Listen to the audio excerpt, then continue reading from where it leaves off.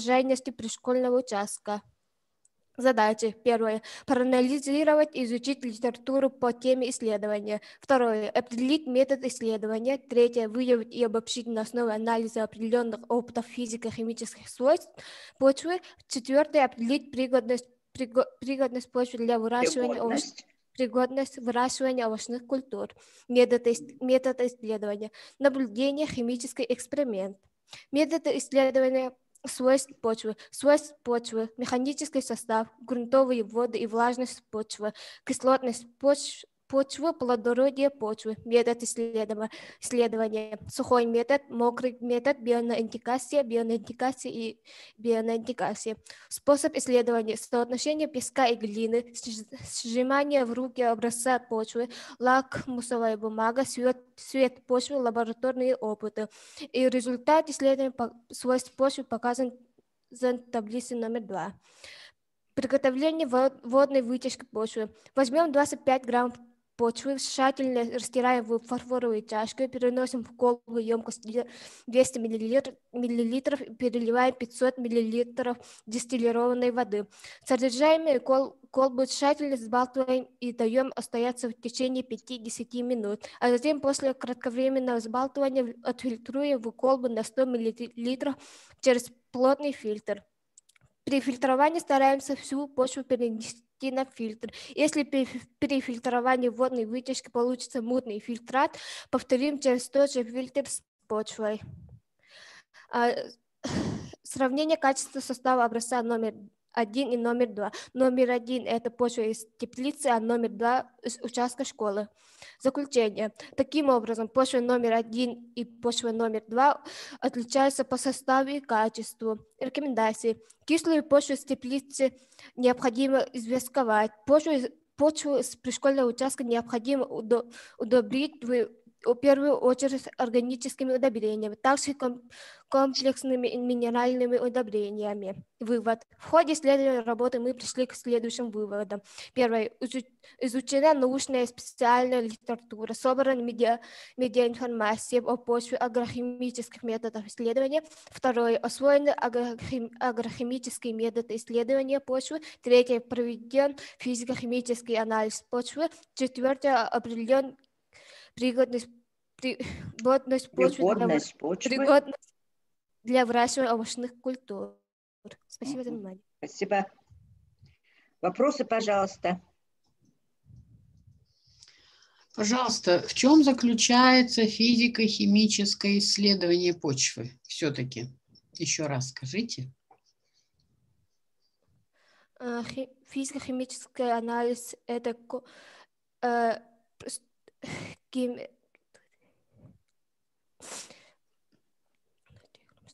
а, э, система путем построения и геометрического анализа диаграмм а,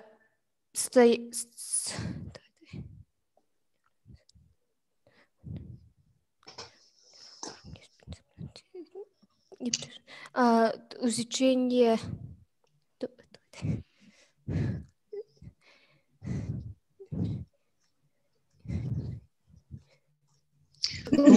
Фаина, вы своими словами рассказывайте, не ждите там подсказок. Скажите, что вы конкретно делали?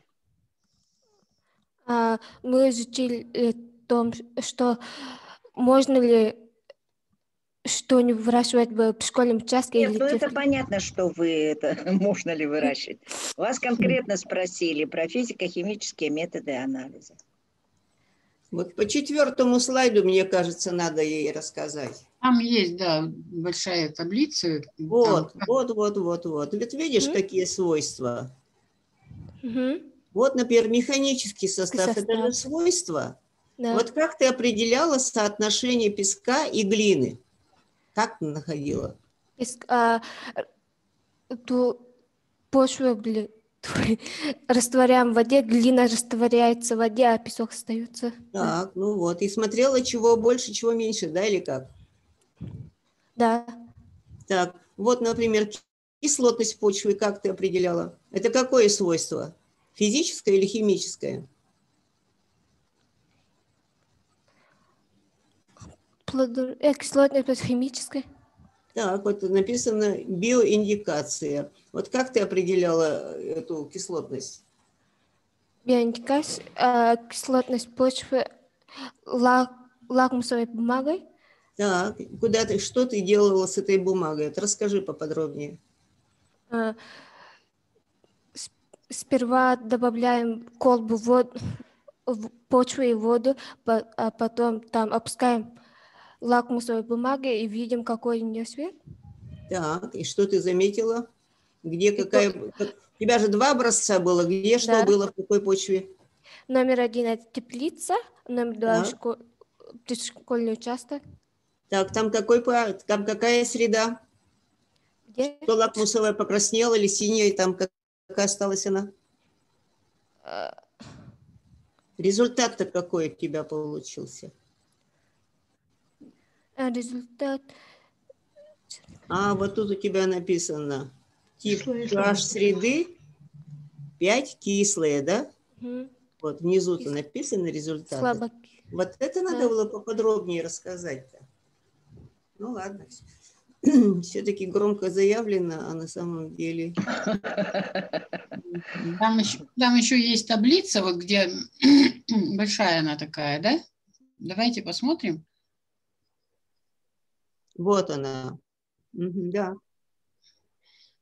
Ну, как будто не это, другая еще какая-то была. Еще, да? Еще есть? Все на этом кончилось? Уже нету, да? Угу. А, а вот от, от к той таблице можно вернуться, которую вот ты забраковал? Повыше. Шестой слайд. Шестой. Вот. Ионы хлора, так. Ионы хлора чем определяла? Так, вот хлорид, ионы. Как определяла присутствие хлоридных ионов?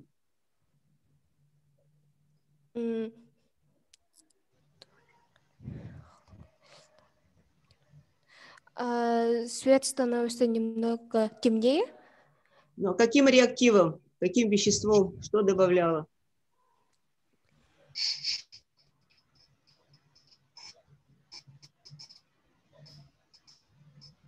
Вот видишь, нитратный ион ты как определяла? Добавляла дифениламин, да?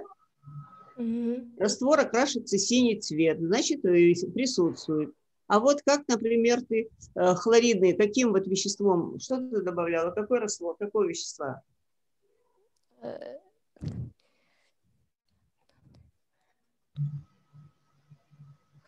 Качественная реакция на хлорид ион. Ну или на сульфаты тогда уж.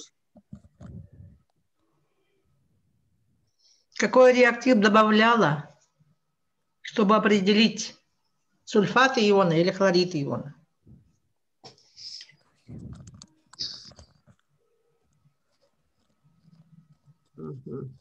Так, затрудняется человек. Да.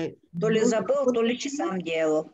Хлоридные и сульфатные ионы совершенно в школе как слабо качественная реакция. Это же А и Б, так сказать. Так, есть еще вопросы? Вот там шипение, бурное выделение оксида углерода. Почему шипит, когда выделяется? Что там, такой реактив был опять?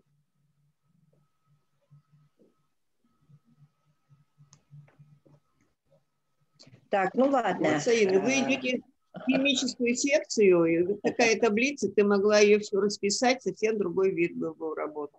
Да. Ну, если нет вопросов, то спасибо и переходим к следующему докладу.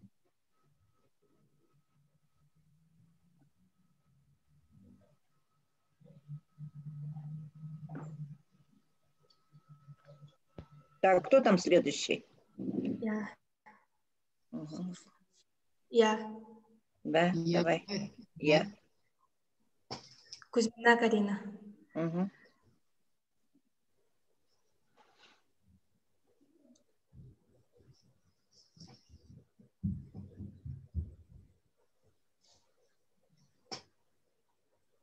Николаева, пожалуйста, остановите демонстрацию.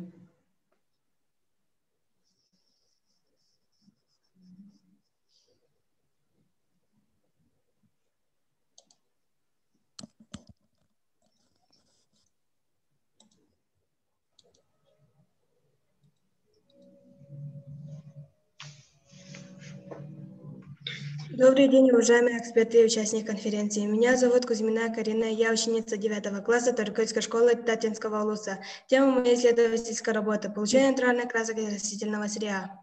Актуальность. В настоящее время данная тема остается актуальной, так как для наблюдается возрождение и стойкое нарастание интереса к природным красителям. Главный аргумент в пользу возврата к природным красителям – это их безопасность к соединению синтезированной самой природой, особенно тех, кто думает о своем здоровье и о состоянии окружающей среды. Цель – получение краски из различных растений, изучение возможности использования натуральных красок. Задача. Во-первых, подобрать литературу по данной теме, сбор частей растений для опытов, изучение методику исследования, получение натуральных красок из растительного сырья, применить полученную краску для окрашивания бумаги, ткани, древесины, экспериментировать и исследовать натуральные краски, сделать выводы на основные результаты наблюдения.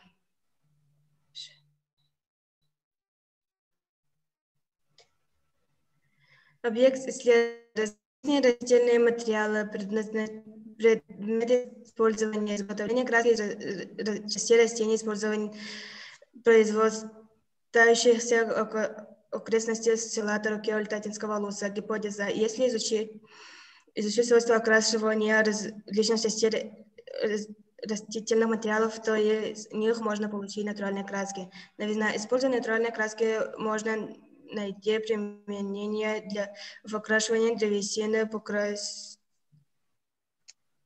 покрытие ткани одежды для людей, людей, страдающих аллергией, а также для творчества исполнения детей. Предназначение краски. Краски предметов создания рисунков и росписей. Получение декоративных покрытий. Э, защита окрашиваемой поверхности краски защищает металл от ржавчины, древесины от высыхания и гниения. Это во время приготовления натуральных красок. Методика исследования при получении краски не используем методику, разработанную кандидатом педагогических наук, профессором Якутского государственного университета Максима Кировича Амосова Дмитрием Николаевичем Савостоком. Первое. Краски из листьев растения. Для этого мы собрали сухие листья брусники, восточные зеленые и летние осенние желтые листья березы плосколистной. Поместили 50 грамм сухих листьев в фарфоровую чашку, добавили 150 мл дистиллированной воды. Кипятили в течение 15-20 минут, отжали листы на массу, отвар кипятили на водяной бане до густоты. Окрасили полученную краску, ткань, бумагу, древесину, бумагу. Краску хранить в стеклянной посуде с плотно закрытой крышкой. Второе. Краски из ягод. Для этого мы собрали 100 грамм ягодов плоду, брусники восточной, черной смородины, рябина, обыкновенной шиповника и глистого. Поместили 100 грамм ягодов в фарфоровую ступку, выжгли из них сок. В полученный сок добавили 5 грамм косов и 10 грамм поташа. Смесь нагревали в фарфоровой чашке до кашеобразного состояния. Полученную густую массу просушили, полученную краску долго хранить в стеклянной посуде. Третье. Получение краски из коры шишек деревьев. Для этого мы собрали кору березы, плосколистной лиственницы, даурской шишки ели аянского. В колбу положили мелко нарезанную кору или шишку, кипятили 10-15 минут, добавили поташ, профильтровали. Четвертое. Получение краски из лишайника. Для этого мы собрали 50 грамм слоевища лишайника ладони лесной. Измельчили, высушили лишайник, добавили к исходному материалу раствора едкого калия, пищевой соды, смесь, болтали, отфильтровали полученную жидкость. Протравы. В качестве протравы применили, например, природные классы. Действие протравы заключается в том, что они образуются с красящими веществами, вторыми цветами, соедин... цветное соединение, которое дает окраску более устойчивый цвет и соответствующий цвет. В данной работе в качестве протравы применили железный купорос. Результаты исследования. С 2018-2020 годами нами проведена сбор частей растений. А, получили 11 натуральных красок по методику Осокостока. Полученные натуральные краски в качестве эксперимента применили для окрашивания брусов бумаги ткани древесины. Э, в ходе исследований мы выяснили, что светокрашиваемый материал э, меняется при окрашивании бумаги ткани древесины. Цвет окрашиваемых материалов мы выяснили по таблице на колорометре на колоршаме. Э, вот, например, вы видите в таблице цвет окраски на образцах. Первое. Например, брусники восточные, плоды. Цвет окраски на бумаге светло-коричневый, цвет в ткани зелено-бежевый, в деревесине графитно-черный и так далее. А, чтобы проверить влияние климатических условий на наших образцах, мы разместили осенью 2018 года под открытым небом на территории школы. Весной 2019 года выяснили, что климатических факторов окружающей среды выдержали три образца. Это краски из плодов черной смородины, из плодов шиповника листа и листья брусники.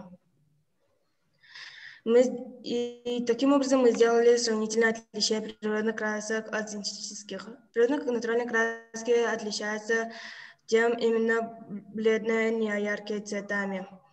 Э, медленно высыхают. В качестве протравы добавляются квасы поташ. Квасы используются как пищевая добавка. Поташ или карбонат калия – это тоже пищевой добавки. А в синтетических искусственных красках име,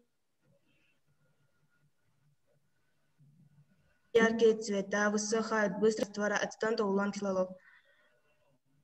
Э, для эксперимента были в детском саду НБО, где всеми с детьми на практике использовали наши натуральные краски. Вот, например, рисунки детей. Таким образом, мы сделали следующие выводы.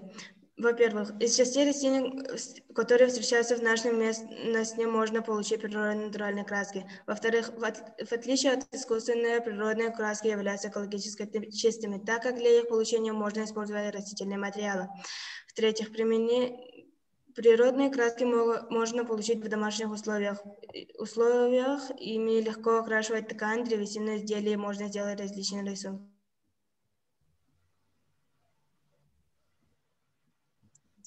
Все? Зависла. На бумаге. Четвертое. Учителя можно получить краски для творческого исполнения детей. У меня все. Спасибо за внимание. Ага, спасибо большое. Мы уже прочитали во время вашего зависания э, выводы и сами мы прочли. Так, пожалуйста, вопросы. Вы же... Э, да, пожалуйста. А что именно влияет на изменение окраски на разных материалах? Это про травы, которые... Ну,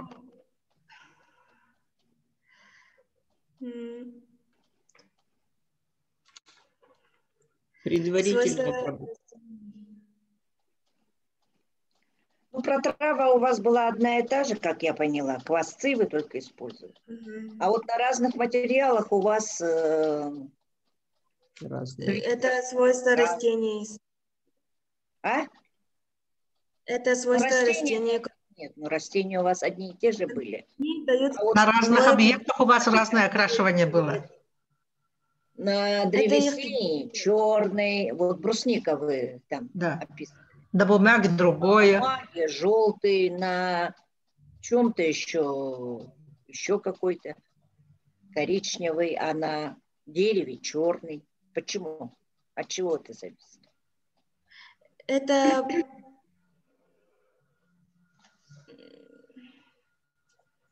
свойства растения пигмента в разных образцах. Ну, на бумаге оно ложится э, чуть ли это типа по-другому, а в ткани тоже по-другому. И в древесине тоже по-другому.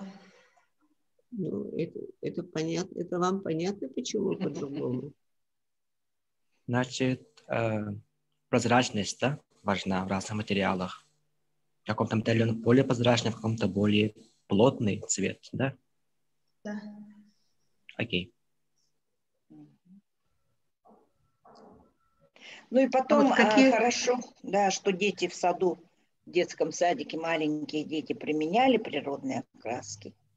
Да. Дети, они любят все яркое, а у вас симпатичные такие листочки, грибочки. Э, хорошо дети рисуют в детском саду. Но а, цвет везде такой э, бледно-коричневый какой-то да? Беж и коричневый. Да пурпура я тут не вижу. Вот. И, ну, хорошо это или плохо? Вот как добиться других, других оттенков? Ну, еще, ну, ну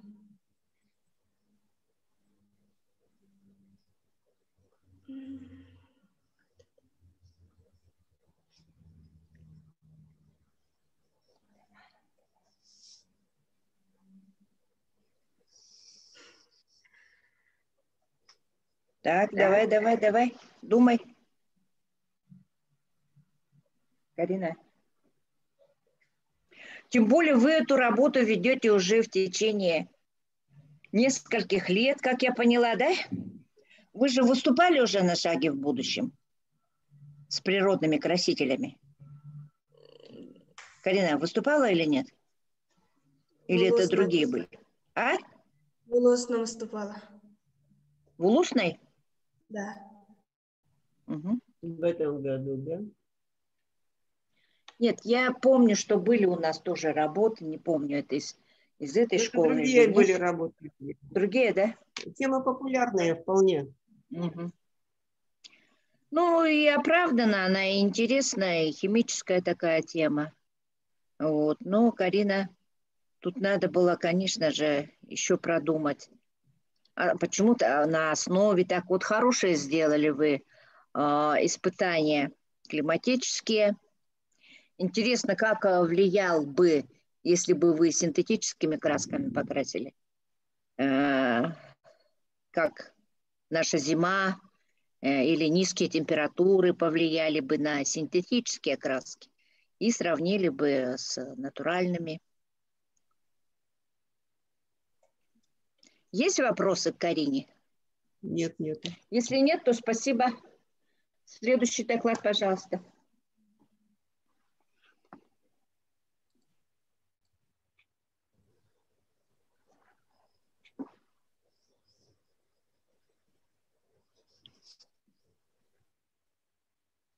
Неустроев.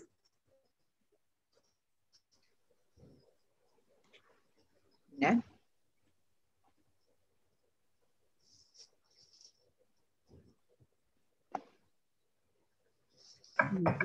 Так, пожалуйста. А, добрый день, меня зовут Неустроев Джулскан, я ученик 11 класса Чманской СО Штатинского ЛУСа. Угу. Тема моей работы – это исследование качества мяса и мясной продукции в школьной лаборатории. Проблема. В условиях рыночной экономики выпускается разнообразная пищевая продукция из мяса. При этом по разным, э, по разным причинам в торговлю может поступить некачественная продукция. Актуальность. Необходимы надежные и нетрудоемкие методы оценки качества мясной продукции.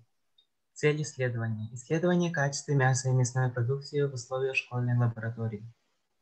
Задачи определить показатели качества мяса мясной продукции по литературе, физико-химические методы исследования качества мяса мясной продукции, выбрать методы исследования в условиях школьной лаборатории, провести исследование качества мясной продукции в условиях школьной лаборатории, сделать выводы по проделанной работе. Мы провели 9 физико-химических исследований, и первое исследование – это определение свежести мяса цветом и прозрачностью фильтрата экстракта.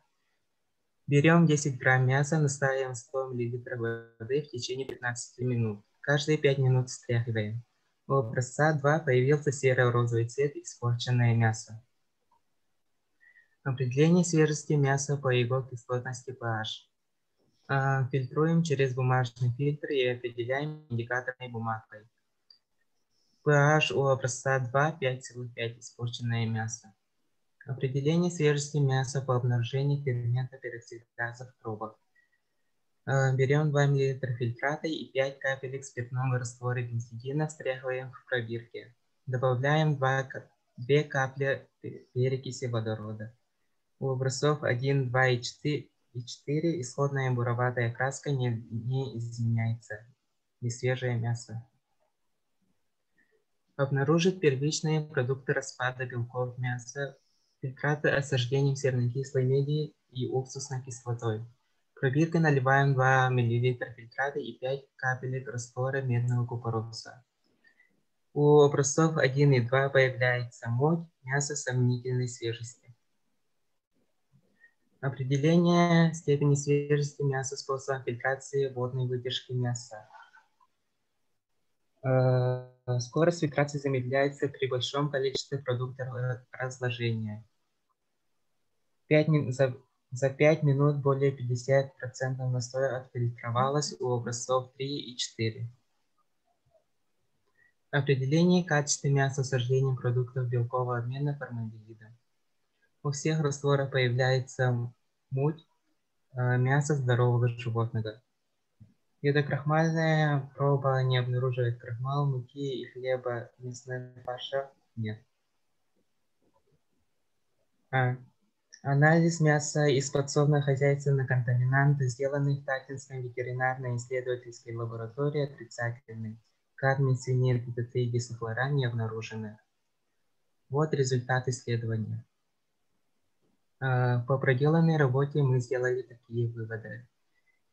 По результатам лабораторных физико-химических исследований выявлено, что у образцов 1, 3 и 4 свежее мясо, образец не свежее мясо.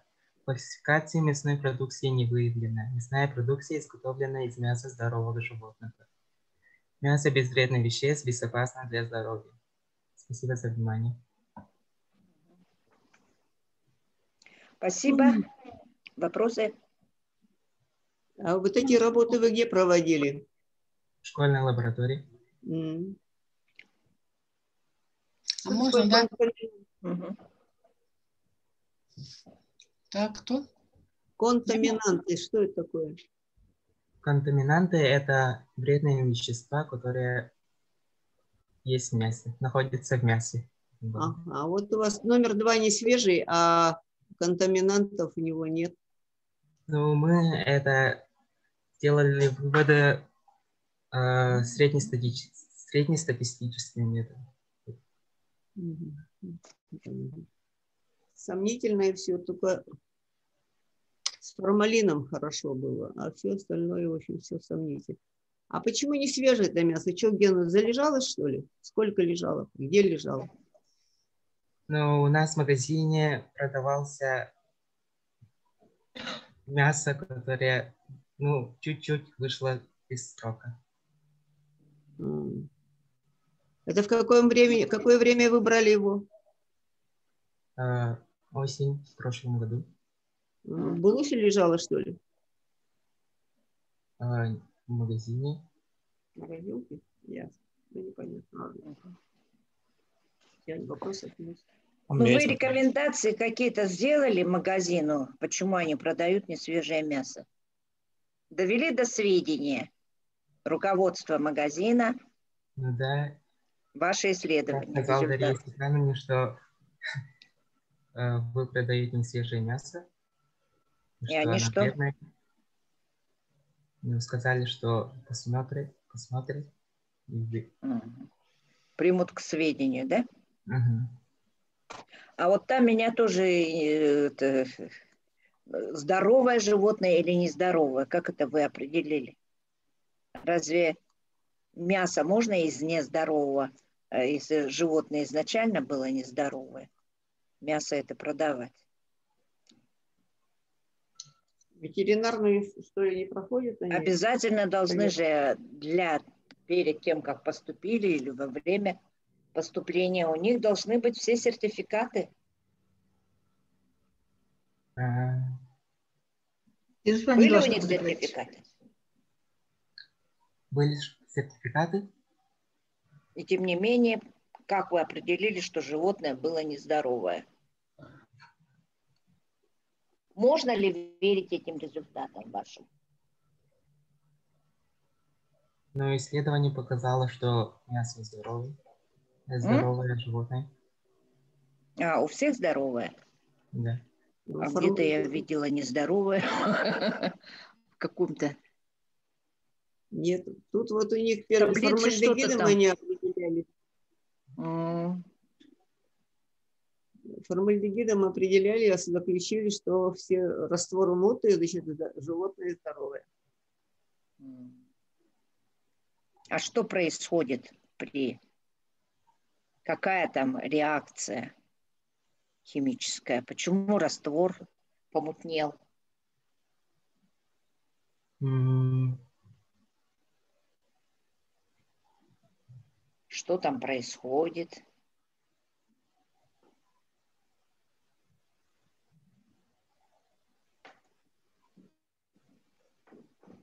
Так, затрудняется, ладно. Есть еще вопросы? У меня есть. Так, пожалуйста.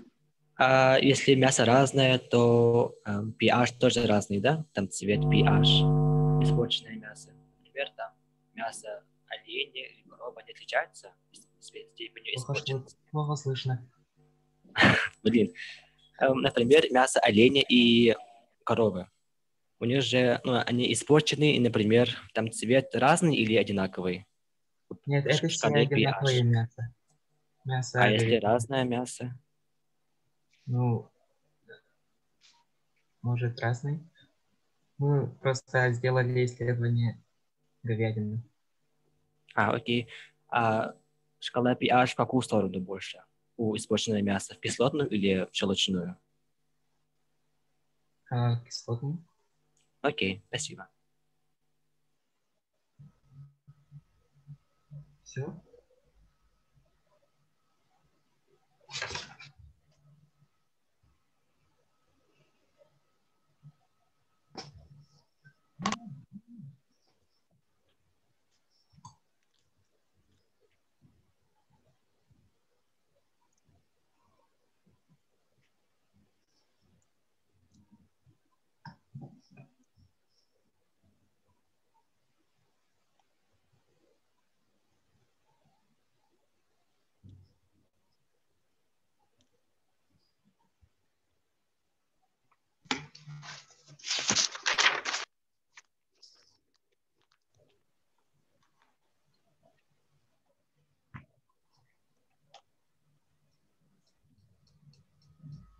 Добрый день, меня зовут Чурукова Даяна, я ученица 10 класса Чмакской СОЖ Дальнинского ЛУЗа. И моя тема – это физико химическое исследование качества молока и молочной продукции в школе лаборатории.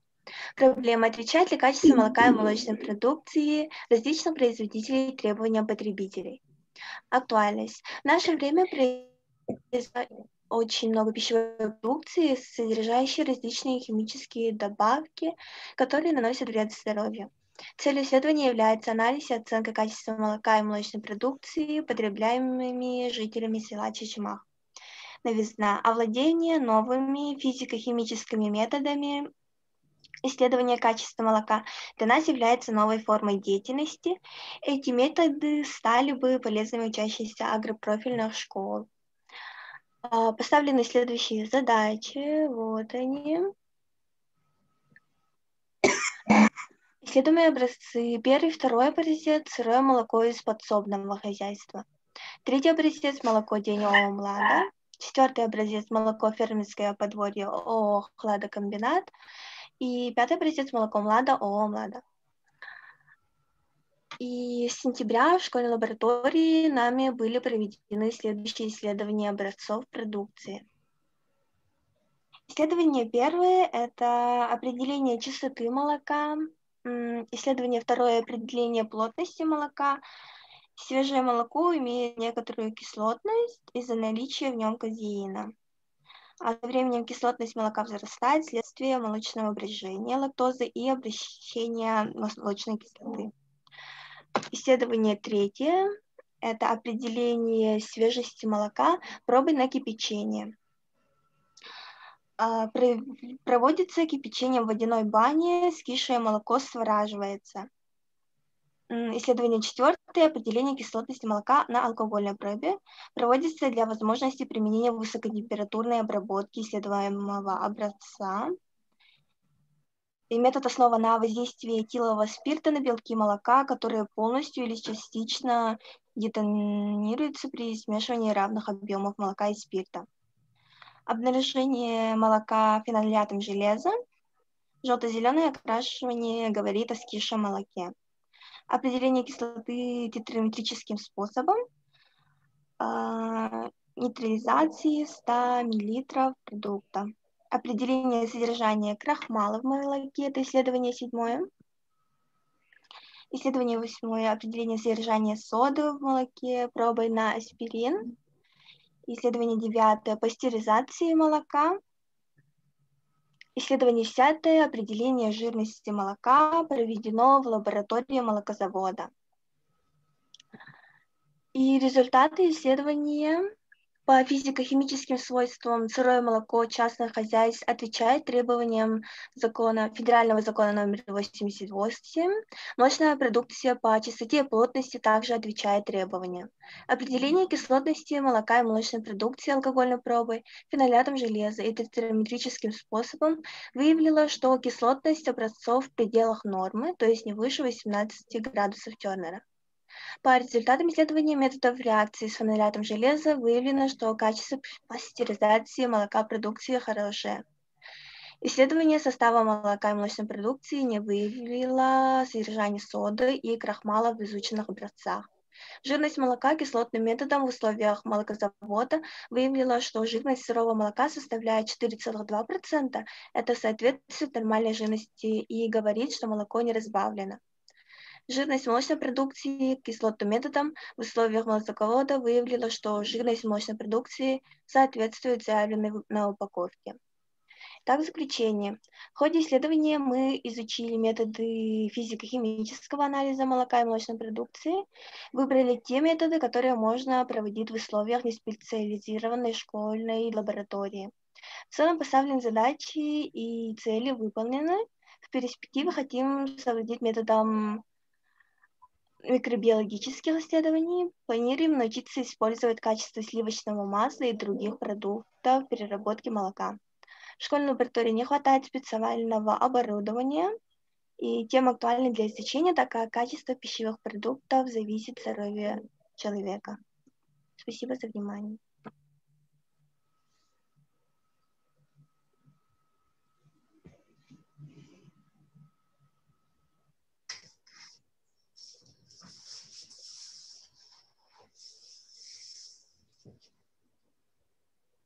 Так, можно вопрос? Да, да конечно.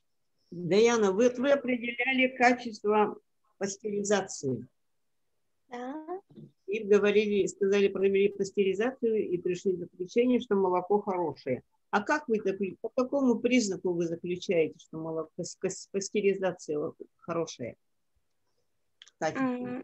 Например, вот э, к 3 мл молока я добавила дистиллированную воду и по каплям добавляю раствор 10% серной кислоты, и там появляются хлопья казеина, если молоко не пастеризованное. А, А, и этот фильтр я опять же нагреваю до кипения. Тогда а вот казеин это белок, который в молоке. А при пастеризации он что, разрушается? Да, э, и выходят они хлопьями. Ну, оно наглядно прям показывает, что мол- молоко не пастеризованное. Понятно. А вот для чего вы млад, младу там опри- эту опри- э, анализировали? Какие-то вы результаты по младе сделали? Красноярское молоко. А, а все, например, все образцы, которые я взяла, они, они все, ну, фальсификации в них не выявлено, то есть все они, м, Соответствует. да, соответствуют закону. Конечно, они же стандартам соответствуют. А вы хотели их разоблачить? Ну, что-то, да, проверите. Проверить, все понятно. У меня вопросов больше нет. Так, еще есть вопросы по молоку? Ну, я Интересно. хотел, я хотела уточнить э, содержание термина новизна. Что вы под этим понимаете в своей работе? Я начала свою работу год назад, и, например, я э, там изучала ор- толь- э, органические качества молока. А Мало было физико-химического именно. И вот здесь, вот в этом, я все, теперь у меня все физико-химическое. Значит, это ваша новизна конкретная. Ваша. Вы впервые участвовали. А, не слышно? Вы впервые в этом участвовали. А до вас это кто-то делал? Вы не в курсе там в школе, например? Я в прошлом году участвовала на республиканке. Мгм. Да. Ну, добавила методы, как раз и рекомендовали добавить, потому Да. что А в прошлом году у нее вот просто органолептические были. А, Запах там, это... Вкус. Вкус, да, цветность. Угу. Так, это какой класс у нас? Одиннадцатый класс? Десятый. Да? Десятый. Десятый. Еще есть фора. Да. Есть еще вопросы? Если нет, то спасибо. Следующий доклад. Ваше внимание.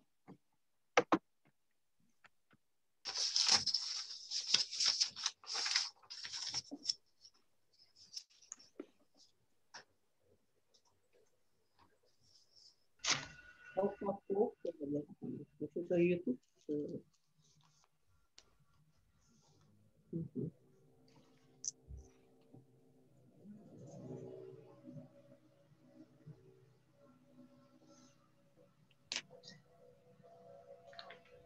Начинайте, наверное.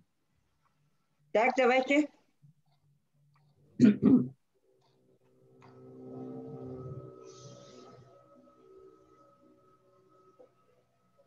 Василиса,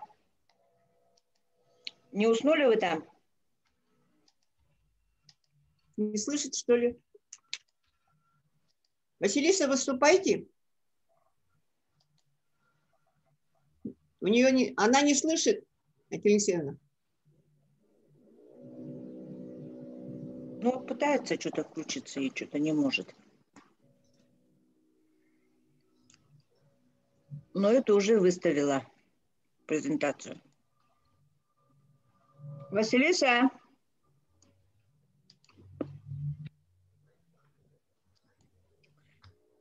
Не слышно. Может, пока э, настраивают оборудование другого выслушаем? Может быть. Следующий. Про Топопова Тогда. пока что разберитесь. Она не слушает. В чат надо написать. Вот она что-то ответила. Не слышно, надо ей Меня ответить. не слышно. Нет.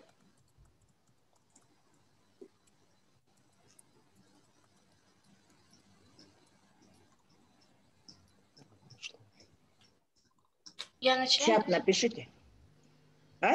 Следующий участник буду, да, участвовать или нет? Да, давай. Угу.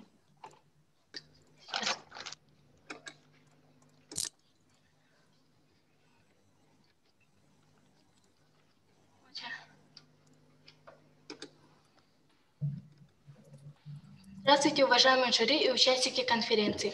Меня зовут Бекенская Валерия, я ученица 10 класса Покровской средней школы номер один. Тема моего исследования – технология изготовления ароматической свечи из животного жира. Актуальность. В нашей обычной жизни ароматические свечи используют для того, чтобы как-то скрасить нашу повседневную жизнь.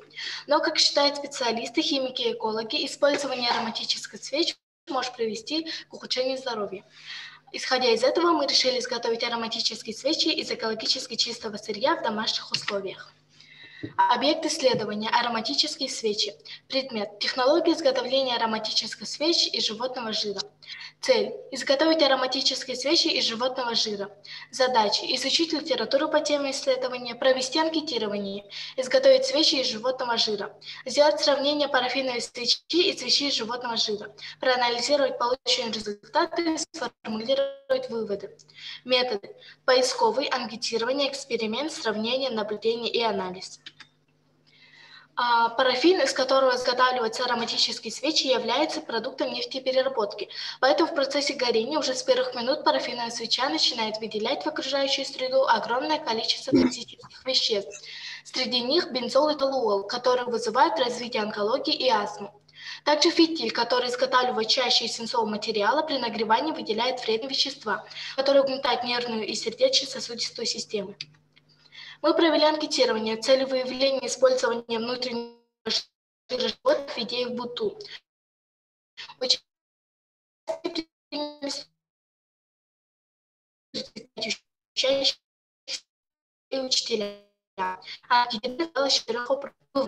Третье. Большинство людей отдают жир домашним животным. Четвертое. Большинство людей не знают, что делать животным жиром. Также мы задались вопросом, из чего сделать фитиль для наших свечей. Для сравнения мы взяли хлопковую и льняную нити. Вывод. Самым подходящим материалом для фитиля наших свечей является нить из льна. Мы провели три опыта. Опыт первый. Мы взяли внутренний жир жеребятин, говядины, свинин, очистили, порезали на мелкие кусочки, чтобы быстро расплавились. Полученные жиры в виде жидкости перенесли в емкости, в них мы окунули фитиль, сделанный нами льняной веревкой, и заморозили на улице. Через сутки мы испытали наши пробы. В результате испытания жиры не полностью были заморожены, и при горении э, жиры быстро размораживались и выделяли копоть. При опыте фитиля трех проб увяли на одну посуду. В итоге первый опыт испытан неудачно. Вывод. Свечи горели примерно 20 минут, выделяя копоть. Во втором пути мы добавили несколько капель гидроцита натрия и несколько капель эфирного масла мяты. Также добавили стружки, стружки воскового карандаша зеленого цвета и перемешали. Вывод. Изготовленные свечи зеленого цвета придают запах мяты и горят около двух часов третьем опыте мы добавили несколько капель гидроцита натрия, нитрата натрия, квасцы и несколько капель лимонного сока. Вывод. Изготовленные свечи желтого цвета выделяют приятный аромат лимона, горят около 2 часов 15 минут. А, перед вами сравнительный анализ всех трех опытов. Вывод. Исходя из графика видно, что наилучшим жиром для приготовления свечи является жир крупного рогатого скота, так как его жир похож по физическим свойствам на парафин. Например, при снижении температуры парафин затвердевает, также и жир крупного рогатого скота. Остальные жиры, жеребятины и свинины не смогли полностью затвердеть. Также мы видим, что в соединении с другими веществами наши свечи дольше горят. Перед вами сравнительная таблица парафиновой свечи и свечи животного жира. Выводы. Таким образом, в ходе исследовательской работы поставленные нами цели и задачи полностью достигнуты. Первое. Проведя анкетирование, выявили, что большое количество людей не едят жир и потом выбрасывают на отходы. Второе. Проделав опыт из внутреннего жира животных, мы пришли к выводу, что сами можем изготовить свечу из экологически чистого сырья в домашних условиях. Третье. Сделав сравнительный анализ свечи из парафина и из животного жира, узнали вредность парафина и свечи, Четвертое. Проанализировав полученные результаты, мы сделали вывод, что свечи из жира намного экономичнее и безопаснее для здоровья, чем парафиновые. Изготовленную нами свечу можно использовать как источник освещения помещений в домашних условиях, для праздника, поднятия настроения, релаксации, а также подарить родным и близким. Спасибо за внимание. Спасибо. Вопросы, пожалуйста.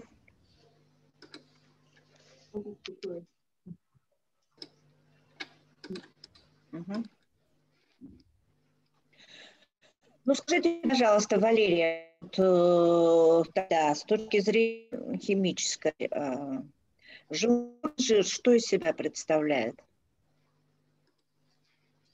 А, животный жир? Да. Что из себя представляет? Ну, с химической точки зрения. А, с химической, ну... Если это жидкое вещество, твердое или газообразное, или, или как? Нет. Или как? Это же органическое вещество же, да? Вот к какому классу можно отнести вот это жиры?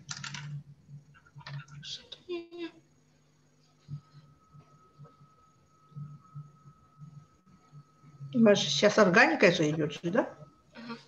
Угу. Угу.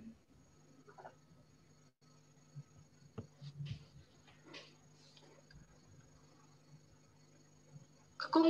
Э,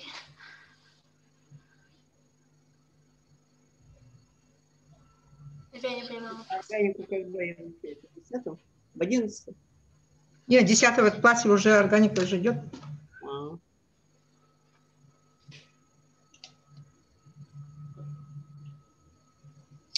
Но она, наверное, не дошла до того раздела, где это рассматривается.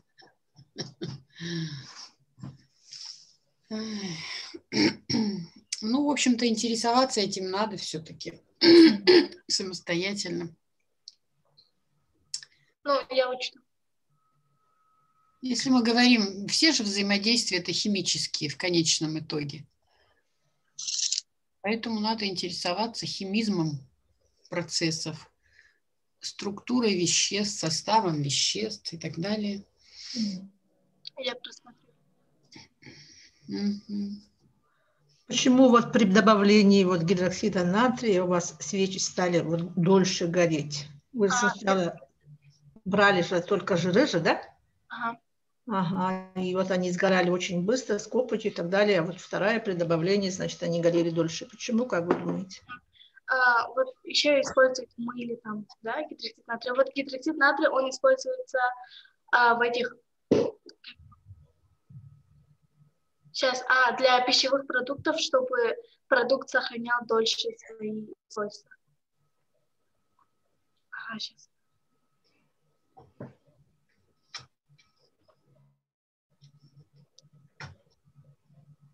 Каким образом тогда гидроксид натрия сохраняет дольше свои свойства? И что значит используется в пищевых продуктах? Ну, используется в пищевых целях, чтобы... А...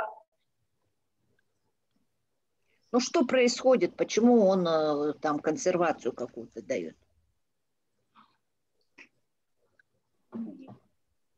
Химизм нужен. Валерия точки зрения химии, там что может происходить?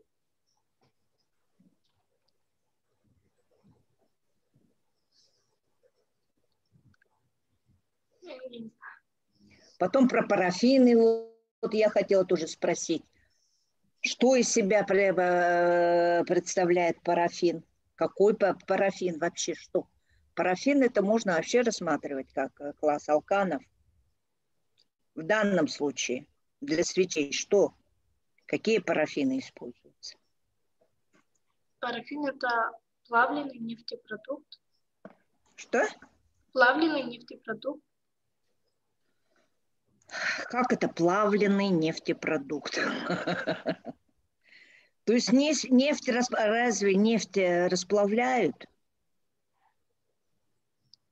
А, сейчас.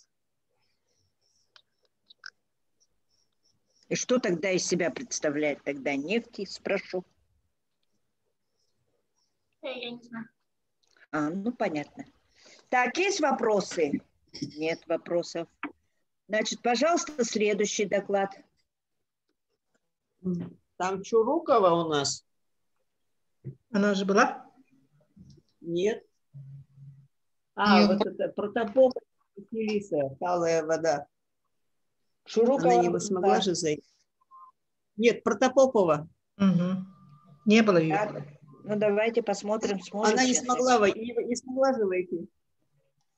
Сейчас может или нет? И слышит ли она не нас, знаю. Василиса? Отвечает Александр, вы у нас секретарь, Александр Михайлович. Что она там в чате отвечает?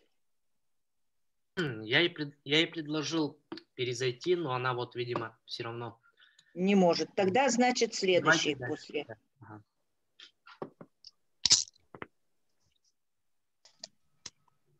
Следующий, кто там по списку у нас идет?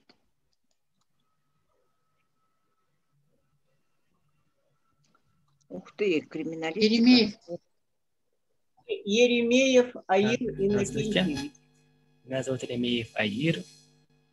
Я являюсь учеником 10 класса школы номер 6. Представляю вам проект «Химические методы анализа в химической экспертизе». Вашим руководителем является Андреева Екатерина Олеговна. Итак, анализы, выполняемые для целей химической экспертизы, должны быть надежными. Конечно, надежность аналитического исследования важна и в многих других областях и сферах, например, медицине, энергетике, атомной и так далее – но результат химического анализа в криминалистике подчас же определяет судьбу либо крупного, либо крупного предприятия, либо же отдельного человека. человека.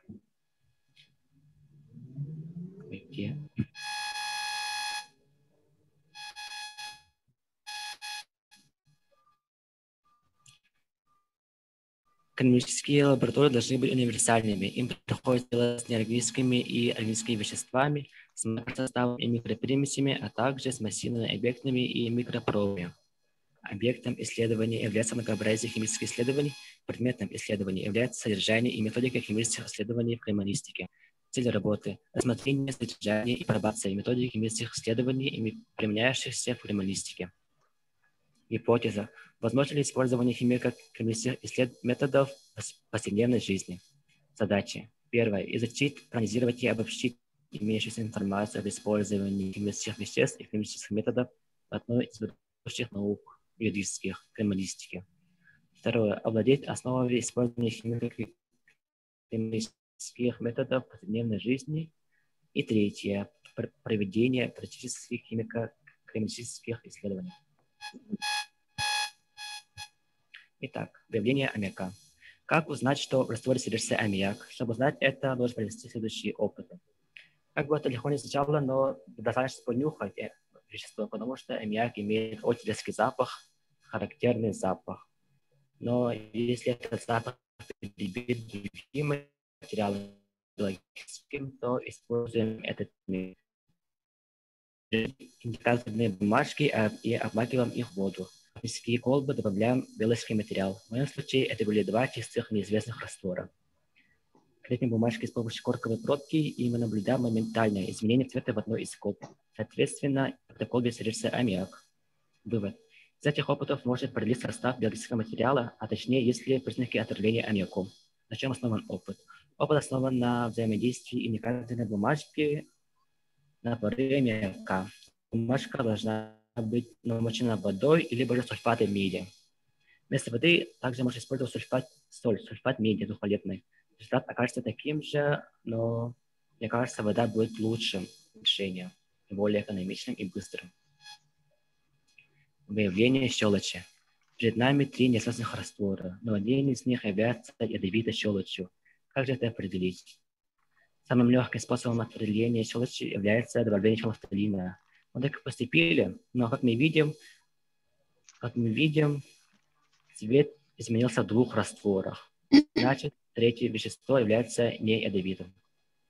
В такие моменты нам добавить еще один компонент – хлорид или нитрат бария. Тогда, если после добавления раствор не изменил цвета, то это является щелочью, а если после добавления появился белый осадок, то это вещество является карбонатом. С помощью таких простых, но качественных реакций можно определить, является ли неизвестное вещество едким.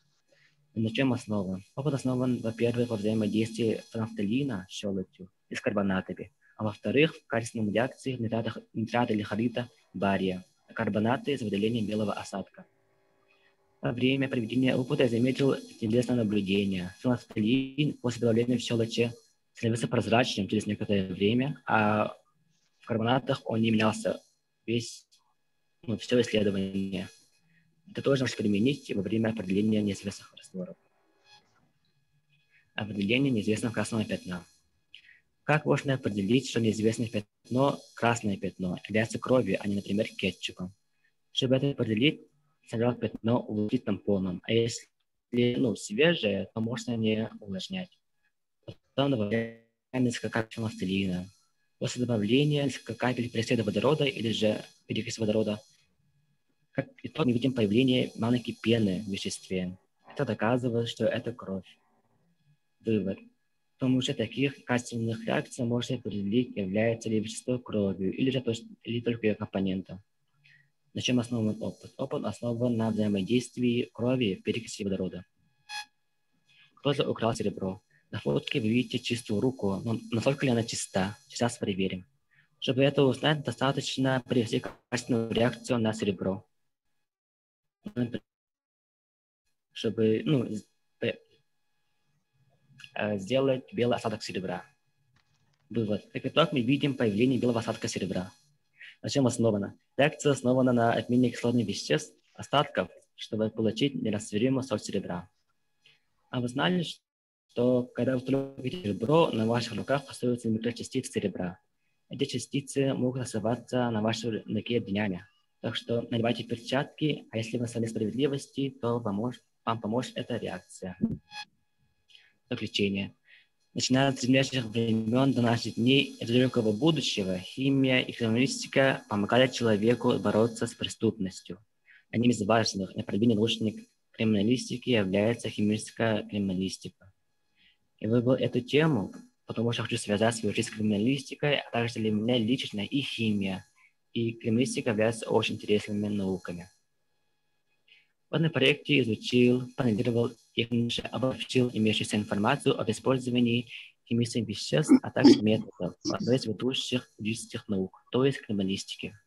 В ходе исследовательской работы он знал очень много для себя и открыл и владел основами использования химика криминалистических методов исследования и, и сам провел практические химико-химические исследования.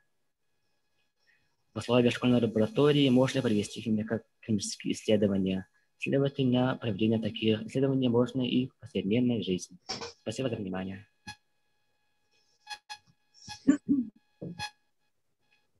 Спасибо, спасибо. Вопросы, пожалуйста. Я спрошу, пожалуйста, да? Значит, э, в некоторых, в некоторых определениях вы используете э, индикаторную бумагу. Угу. В общем-то, эта же индикаторная бумага должна содержать какой-то компонент, дающий какую-то реакцию с следующим компонентом. Вот каких, э, значит, при определении аммиака или щелочи, ну, по крайней мере, как я усвоила, да, потому что там читать было невозможно мелко, то, что услышала. Значит, вот индикатор МАК, она должна содержать какой-то компонент, дающий да. либо цвет, либо еще что-нибудь, да? Вот в случае NS4 у вас какой компонент, и в случае определения присутствия щелочи тоже каким компонентом, вы говорите, надо смочить или не надо смочить, вот и это тоже почему? А, ну, при выявлении мягка надо смочить бумагу индикаторную, а при щелочи не, не обязательно. Хорошо. А что содержит все-таки бумага? Что такое индикаторная бумага? Как вы ну, бумага, которая определяет pH вещества. Чудесно. А на основании чего она определяет? Они же похожи по фактуре, но они различаются все-таки пропитывающим каким-то бумагу компонентом. Вот конкретно химическое вещество, которое взаимодействует или проявляет себя по отношению к аммиаку, парам как вы описывали. Вот. И в случае со щелочью, ну, не надо смачивать, но вы, тем не менее, же опускаете в, в этот в раствор, правильно? Какой-то. А Насколько... щелочью я использовал нафталин, а с аммиаком э, бумагу индикаторную. Чудесно. Так, со щелочью что вы используете? Я не расслышал. Фенофталин. Ну, мне послышалось другое слово. Ага, понятно. Фенофталин, то есть бумага пропитана фенофталином, так? Нет, а с аммиаком бумага пропитана либо водой, либо сульфатом меди. Так. А, а какая, какая а краска там появляется? Очень синяя краска, очень синее окрашивание. То есть. А, синее окрашивание. А. Хорошо. Так, а с барий хлор-2 или барий там внутри дважды что-то такое, да? А, ну, мы видели то, что фенофталин действует с карбонатами. И чтобы различить э, щелочь от карбонатов, э, я сделал качественную реакцию на карбонаты добавив нитрат или хлорид, и получив белый осадок, чтобы различить их. Ну, между карбонатом и щелочью. Ага, понятно. А что образуется, какой осадок образуется? Осадок образуется э, белый. Ну, белый, хорошо. А что он собой представляет, как вещество? А, ну, зависит, какой карбонат. Карбонат, правильно. Угу. А вот серебро, вот на ладони серебро. А что вы имели в виду? Э, человек контактировал с серебром. Ну, его трогал. О, металлическое. Я не понял. Или что? Крал металлические какие-то предметы, да, серебряные. И что на руках А потом остается? там вот реакцию я на руках что остается и что написано в реакции вашей? А, ну, у нас не было серебра, и поэтому я смочил руку свою хлоридом серебра. И сделал... Не, хлори... не хлоридом, не хлоридом. Не хлоридом. А чем? А, ой, то есть нитратом. Нет, ну это-то совсем другой разговор. Угу. Просто я еще недостаточно изучил эту методику. Подождите, а, а ведь когда... контактируют. А можно мне вмешаться, Валентина да? Ивановна? Да. Если да, мы пожалуйста. берем сосуд серебряный, металлический сосуд серебряный угу. и раствор нитрата серебра, то форма, в которой серебро находится, это же две большие разницы. Ну да, просто я не до конца изучил методику получения, ну, выявления серебра. Просто... Вот насчет металла, насчет металлического серебра, там просто будет серебро, металл. А когда нитрат серебра, там ионы серебра. Так я понимаю? Ну, Валентина Ивановна, вы со мной согласны? Я до конца изучил эту методику. Я это же примерно спрашивала. Вот, вот, вот, тут и дело, да. Поэтому ну, вы в каком классе учитесь? В десятом? Десятом, да, десятом. Ну, с электролитической диссоциацией вы знакомы? Ну, да. конечно же. Ну вот, нитрат серебра диссоциирует на ионы. Формулу на нитрата серебра. Аргентом внутри так. Э, да, внутри. Вот, и он диссоциирует на ионы, так? Да. Ну, какие ионы образуются? Серебро и НО3. Вот. серебро Добавляете, и НО3. А какое? И тогда качественная реакция на ионы серебра какая будет? Э, добавление хлорида. Так. Хлоридных ионов с ионами же серебра. А если у нас в руках там чаша серебряная или там шлем серебряный, такой известной э, комедии, то извините, на руках вряд ли это произойдет. Вряд ли будут ионы.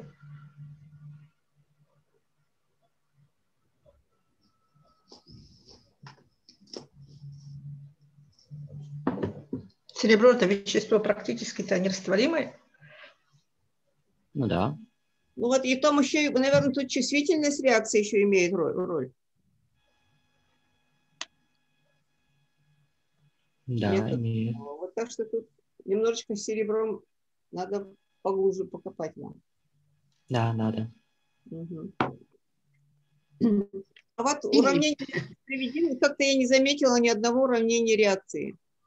А, там были? Ну, очень мягко, плохо видно. В общем, а почему вы так, нас такому страшному испытанию подвергли. У нас у всех зрение сразу упало на целую единицу. Ну ладно, спасибо. Теперь, пожалуйста, таким испытаниям нас не подвергайте, хорошо? Хорошо. Уважайте комиссию. Все. Спасибо, до свидания.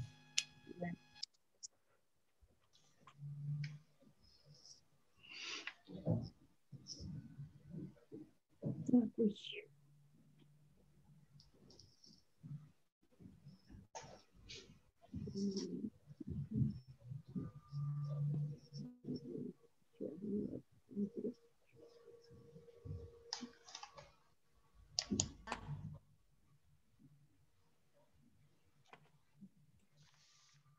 Графовные материалы, где у нас дальше? Иванова Анжелика Васильевна. Коллеги, у нас скоро будет 15.30. 24 доклад.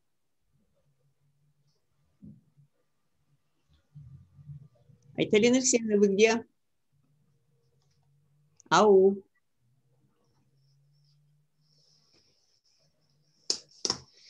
Так, Иванова Анастасия, вот она, она. Где она?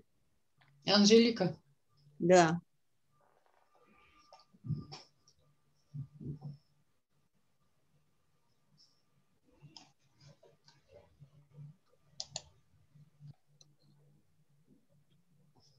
И мои коллеги. Иванова должна. Вопросы? Она да, завтра выступит. А? Она завтра выступит, я нет сегодня. Что, почему она так решила? Она вроде еще видео отправляла, да, в Ютубе? Ну, следующее давайте. Мы хотели сегодня закончить всю старшую группу, потому что завтра э, должно быть у нас э, обсуждение.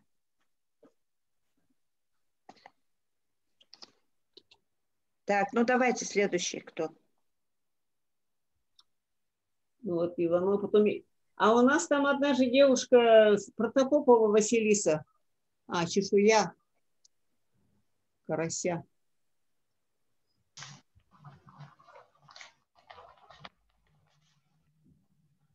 Так, пожалуйста.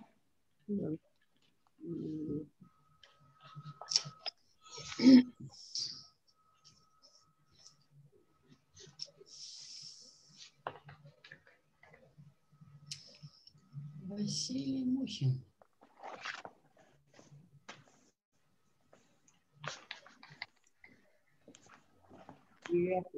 Иванова и Виналия, мы, кажется, вас не слышим.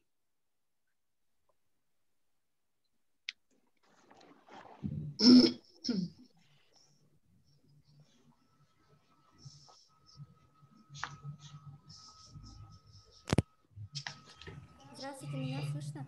Слышно. Плохо-плохо слышно.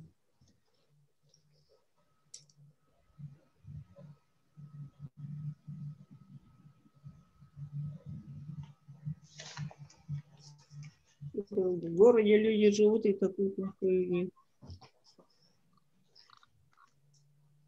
Вот Протопопова Василиса спрашивает Этель Алексеевна. Угу. Можно ли ей войти с телефона, говорит?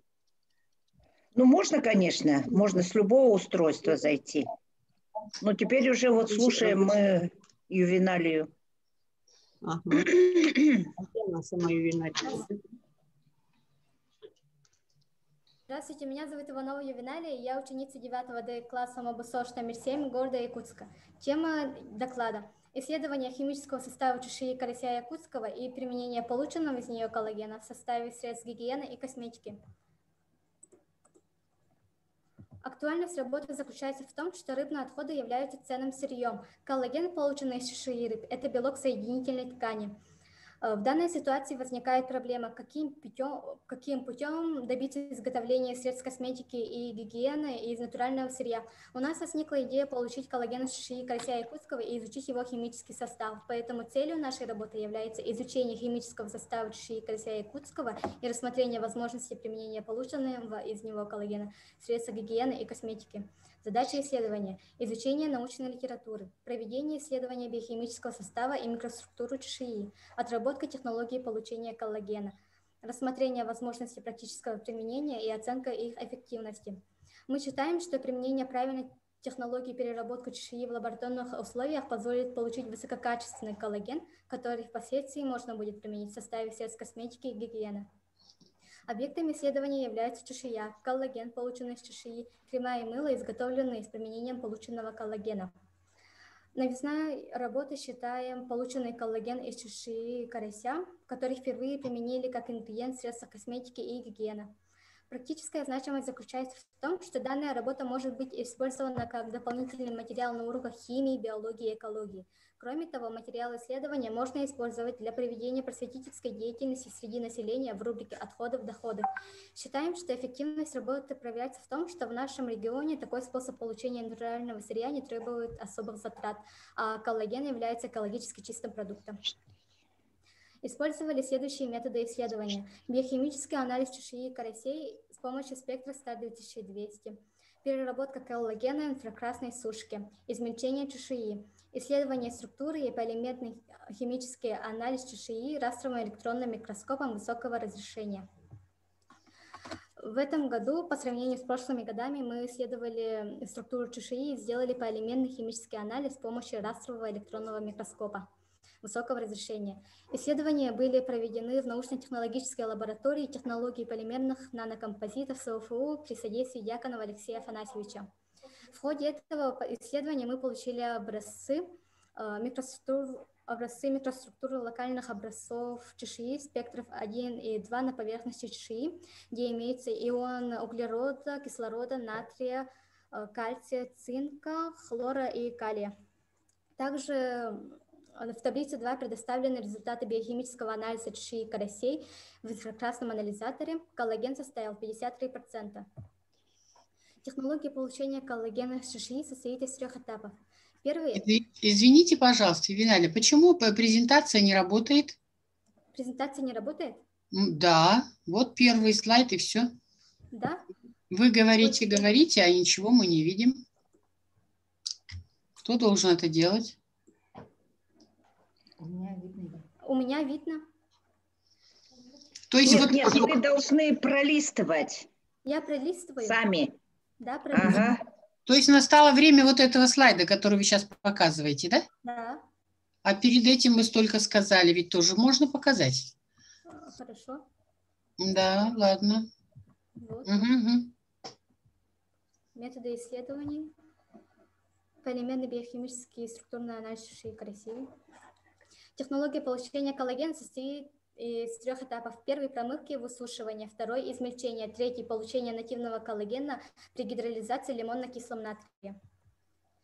Эм, э, мы применили коллаген в составе мыл, кремов и скраба.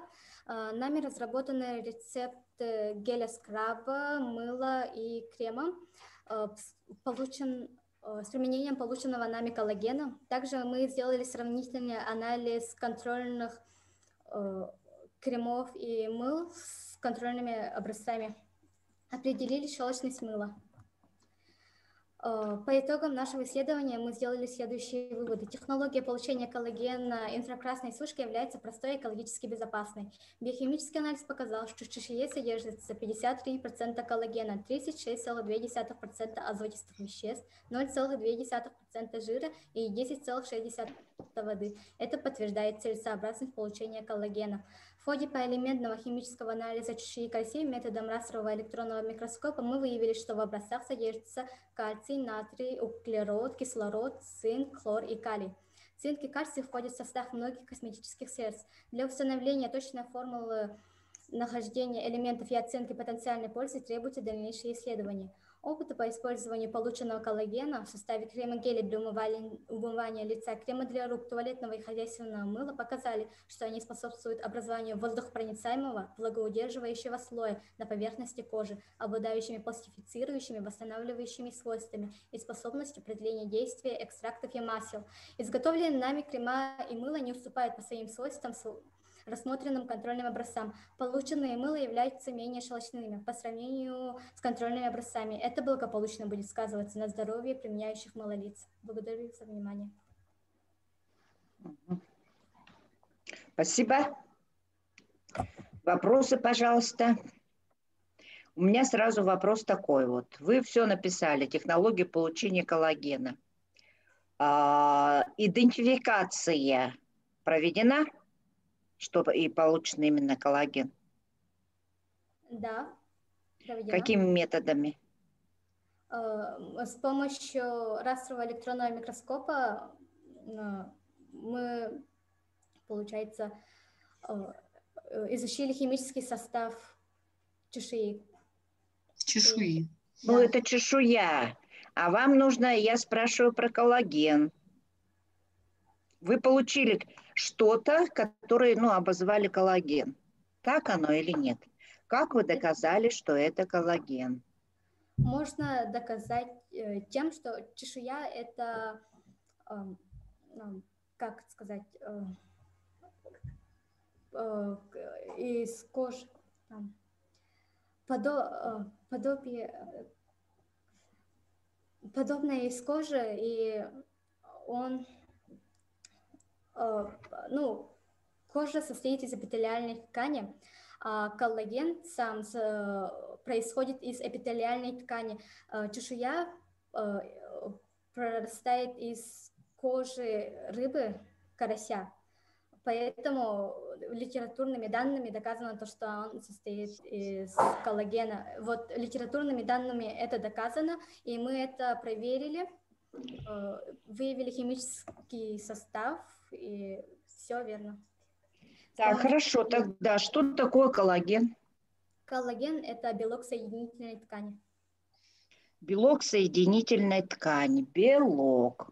Значит, там а, какие группировки существуют? Для того, чтобы показать, что это белок, здесь вы элементный состав чешуи э, определили, но вот я вижу, что здесь нет азота. Одним из компонентов вот коллагена там амидная или пептидная связь NH2O. А здесь у вас нет азота. Значит, Белок у вас относится к теме азот-содержащие соединения же в школе-то.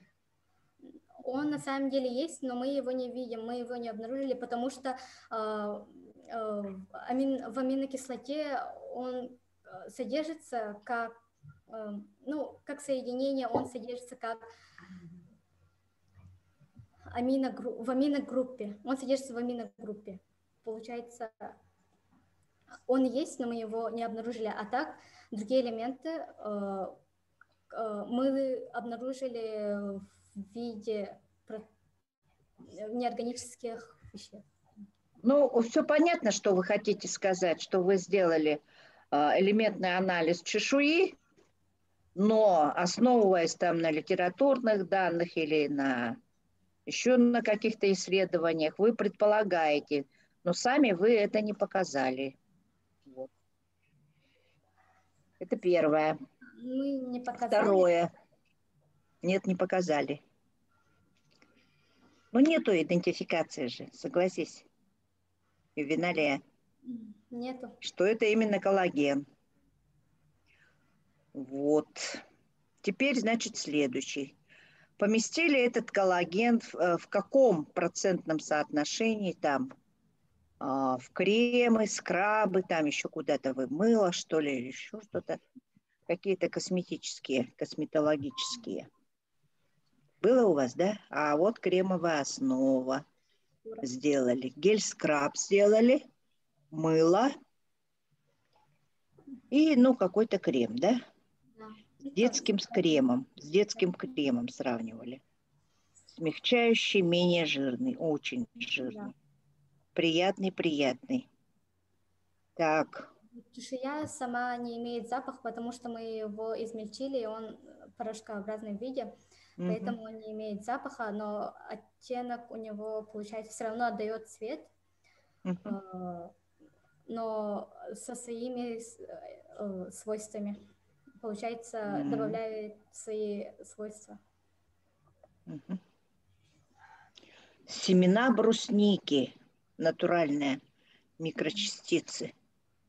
Так где же вы семена-то набрали, брусники? Они такие мелкие. Буд? Собирали и сушили. Эффект скраба выполнять, да? Да. Угу. Ладно. А высушенный кофе нельзя? Кофе? Да. А, Здравствуйте, меня зовут Замятина Лилиана, я очень... Наверное, слишком мел... Э, более грубо будет, чем семена брусники. Да, думаю. Угу.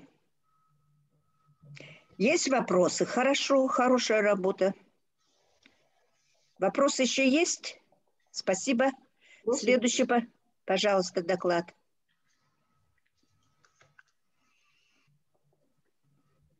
Так, а, там хотела Протопопова Василиса. Да, Протопопова будет участвовать? Да. Так, давай Протопопова, Василиса, загружайся. Не слышно, да? Слышно, презентации не видно.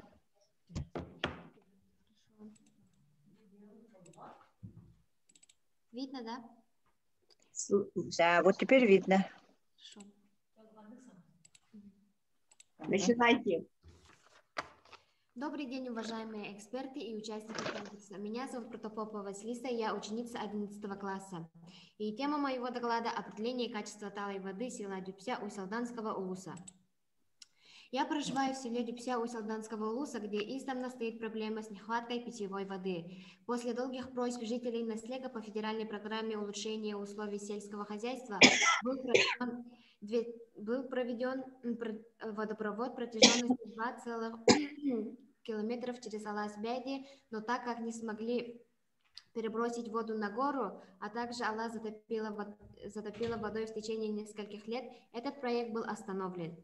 Сейчас в данное время рассматривается проект переброски воды в обход Аласа, разобрав трубопровод, лежащий под водой. Дожидаясь воды из трубопровода, жители моего села брали воду из подземного источника, но насос, качавший воду, э, сломался из-за отсутствия электричества. Таким образом, администрация Неслега занялась этим вопросом вплотную, но пока проблема воды до сих пор не решена.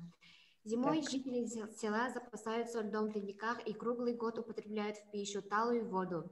У жителей общежития нет ледника для хранения льда, и поэтому в летнее время они пьют воду из озер, привезенную на машине.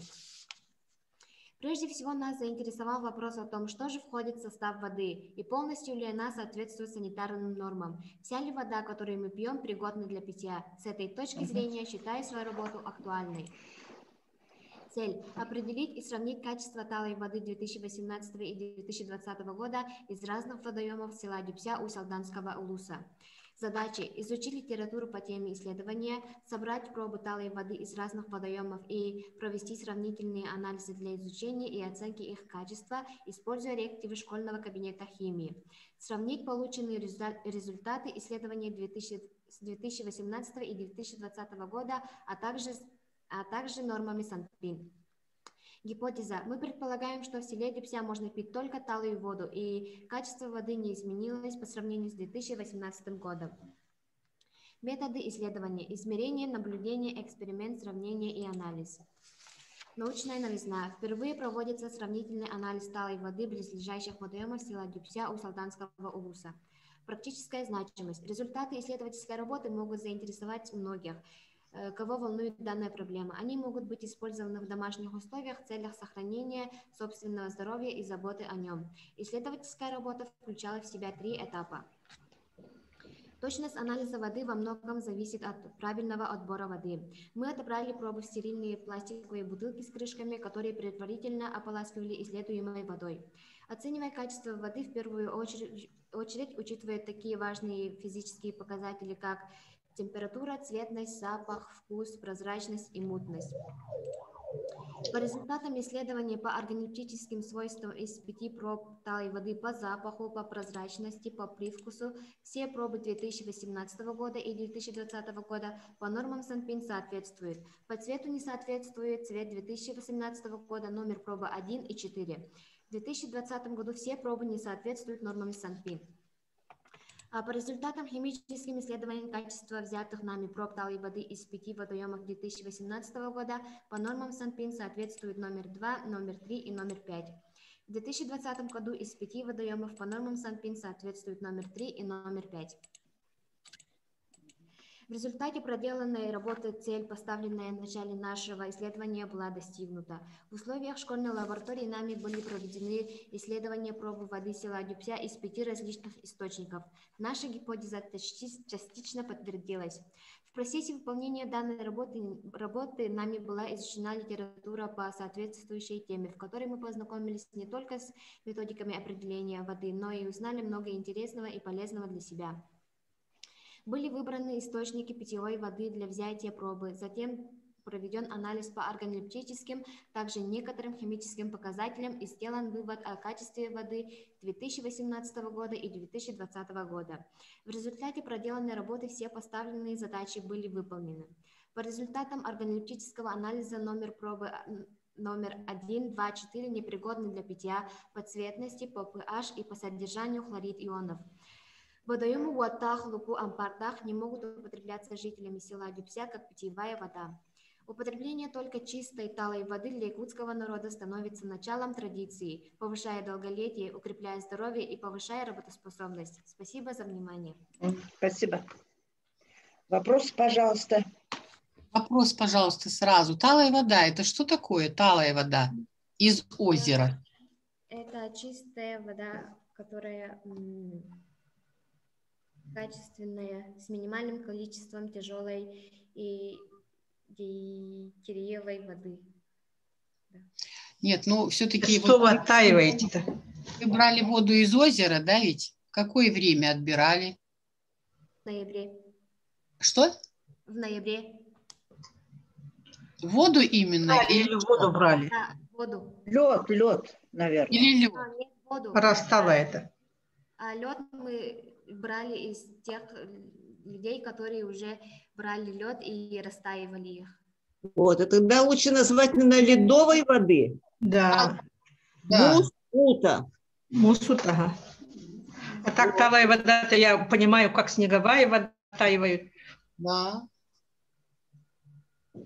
А я, я поняла, что талая вода из озера, и вот, э, ну, уточняю для себя, как так? Мы брали два типа, э, да, два типа вод из льда и просто воду, воду.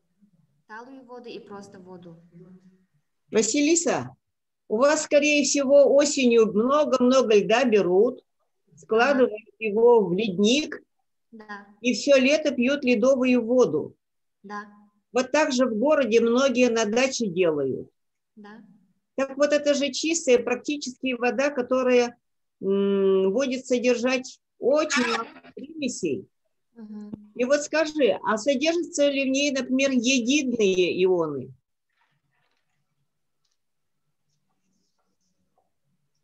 Вот единых ионов в ней нет. Поэтому у людей зубы плохие, у людей зоб да, минерализация все равно нужна. Да, же. поэтому, говорят, йодированную соль надо пить, это употреблять. Поэтому там вывод, где якутский народ должен прямо... А с другой стороны, с другой стороны, считается, что вот жители Якутии и горных районов – это долгожители, потому что они пьют вот эту воду, она э, чистая эта вода и улучшает там жизненные необходимые процессы. Но, тем не менее, профилактику-то надо проводить. Калия того же нету, а без калия сердце плохо работает. Поэтому слово ну, долголетие – это совокупность факторов, очевидно. Конечно не только ледовую воду из-за ледовой воды. Ну, а с другой а стороны... То, что ледовая вода, э, действительно, там отсутствуют много, многие элементы, это не есть хорошо. Ну, они, наверное, восполняют какими-то пищевыми э, вещами, а вообще ледовая вода, она же структурирована особо. И вот структура этой воды как раз благоприятствует здоровью. Ну, может, структурированное благоприятствует, но отсутствие йода, вы же знаете, что э, как раз вот у якутов э, проблемы с щитовидной железой. Очень у многих. Поэтому там с выводами надо вот это э, думать, Василиса. Может быть, не надо такие вот выводы делать.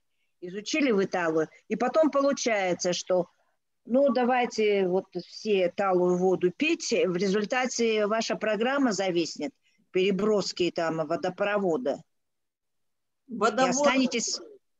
Не водопровода, а водовода. Ну, или водовода, но неважно. Они живут без воды и так и будут жить без воды дальше.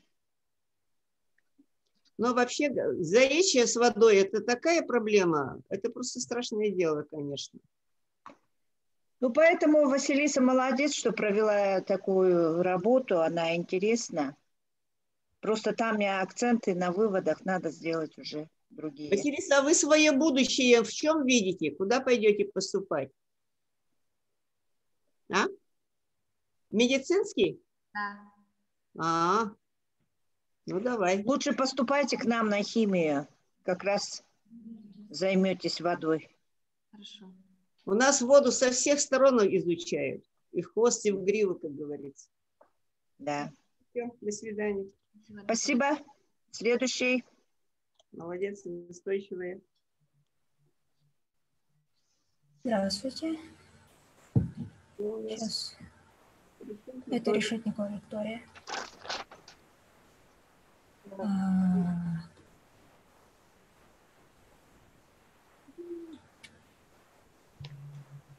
Всем добрый вечер. Получается, меня зовут Решетникова Виктория. Я ученица 9 Б класса школы номер 3 города Якутска. Тема моего исследования – это антоцианы цветков кипреева-скалистного. Мой научный руководитель, младший научный сотрудник Института проблем нефти и газа Владилина Владимировна Корякина. Вот, что такое антоцианы?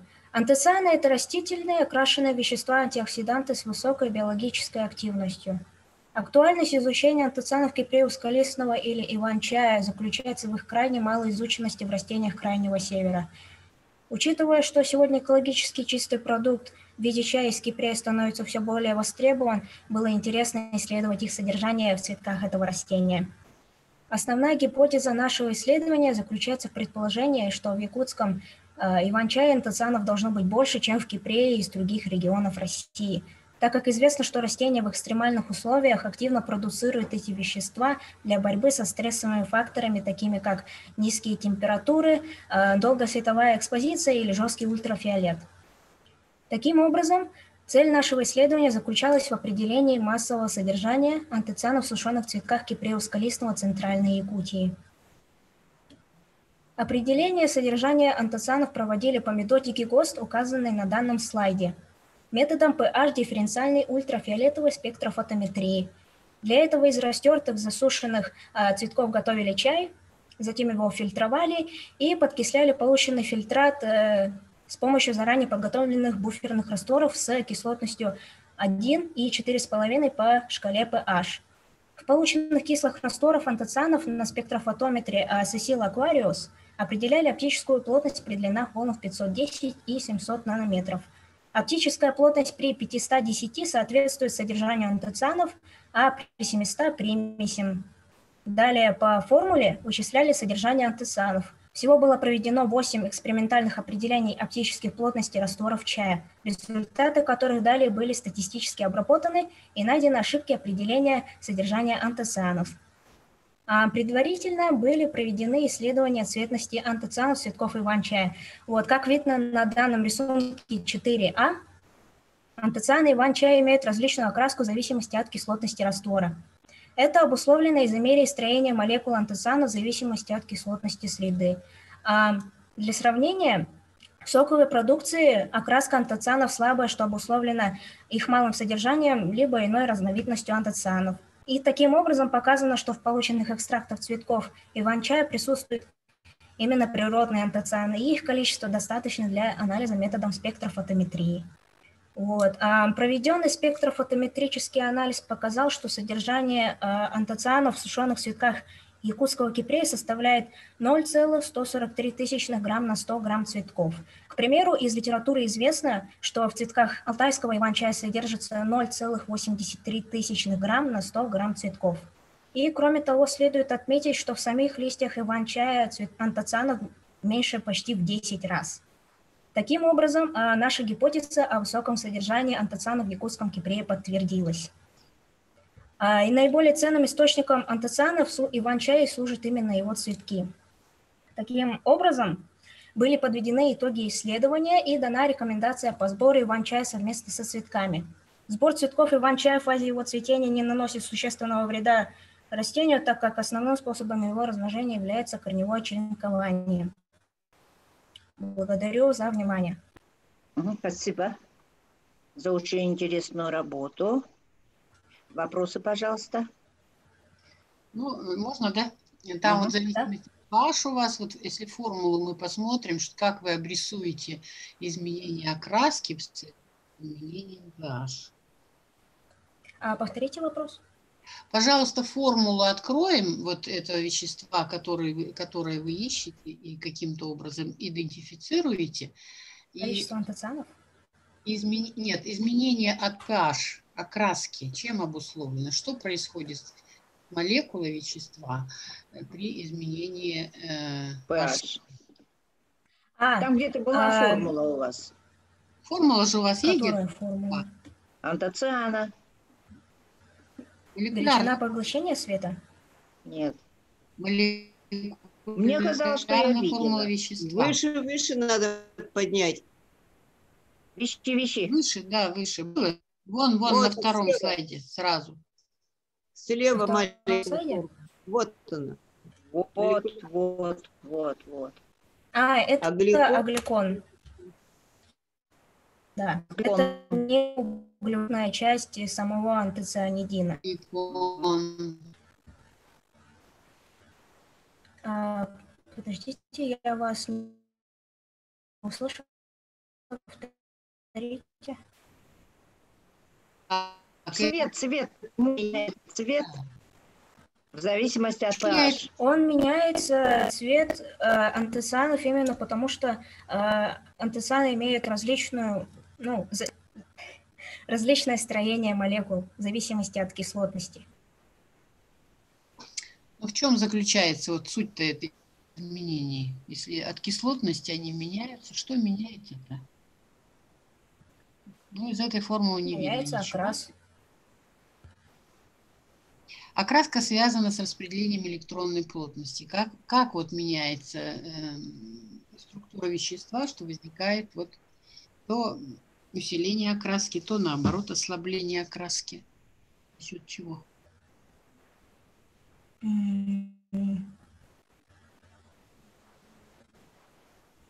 Ну, у вас же ультрафиолетовый спектр, да, ну, в общем-то, как сказать, природа этих спектров должна, наверное, быть все-таки усвоена в какой-то мере, чтобы объяснять. Вот вы просто факты нашли, что меняется окраска с изменением pH, а вот почему, не совсем понятно.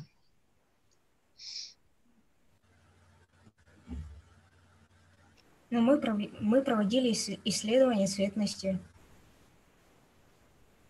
Э, и мы показывали на рисунке, что да. меняется окраска. Меняется окраска в зависимости от кислотности, потому что э, они имеют разную структуру. И, и, соответственно, если у них разная структура, то получается от э, кислотности, кислотности среды она начнет менять, э, проявлять свою окраску меняется спектр. Понятно, меняется распределение электронной плотности, но вот со структурами бы хотелось увидеть. Да. Все говорите правильно, но в конечном итоге, конечно, нужна конкретика. Ну, ладно. Смотрите, э, даже вот на той формуле, которая у вас есть, а, какая сопряженная система там мощная. А изменение окраски как раз происходит за счет делокализации электронной плотности. Так, извините, по-моему, это Виктория еще рановато знать или нет? Я еще такого не знаю, честно говоря. Но дело не в этом, а дело в том, что кто проводит исследование, он же залезает и в литературу, и плотно работает с консультантом, руководителем. То есть гипотеза должна быть даже у малых детей. Ну, в общем работа симпатичная, но вот когда суть, она ускальзывает, угу. немножко как бы это утрачивается. Ну, немножечко, да, вот так, да. что. Так, что а можно Виктория вопрос Нормально. задать? Да, Задавайте. Виктория, скажите, а что такое буферный раствор? Дайте определение. Да. А, буферный раствор – это а, Вот написано Это, буферный... Как сказать проявитель?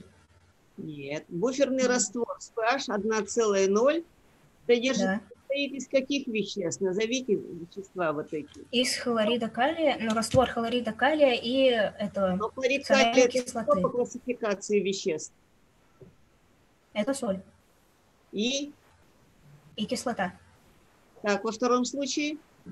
Во втором случае у нас эм, ацетат натрия это? И соляная кислота. Это что? натрия – это тоже соль.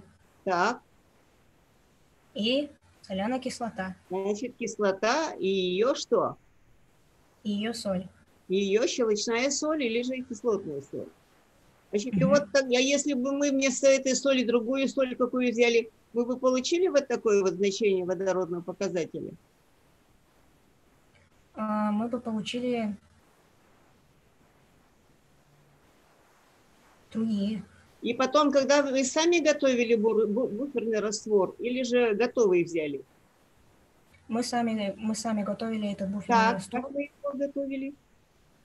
А, мы... Определенное что... соотношение так, на глазок? Определенное соотношение О, было. о, видите как, видите как? И, вот благодар... и причем вот там, где полоски вот показаны на слайде, да? Вот, покажи-ка, посмотри-ка слайд. Где с полосочками? Который? Ну, там я номер не запомнила. Там сок и не сок, там и полоски. А, вот эти вот. Во -во -во. Тут четко, тут же только это самое, одно значение водородного, второе, третье, четвертое, правильно? Да, первое соответствует э, кисло... э, Кислого, а четвертого щелочного. Да, вот. Значит, буферный раствор – это какие системы, которые что позволяют удерживать на одном значении? Позволяет удерживать кислотность? Ну, спросите у своего руководителя. Да, кислотность, конечно, совершенно верно. Совершенно верно. То есть это именно буфер. А буфер что такое? То, что защищает от сдвигов ту или иную. А. Поняла, да? Да. А почему именно вишневый сок?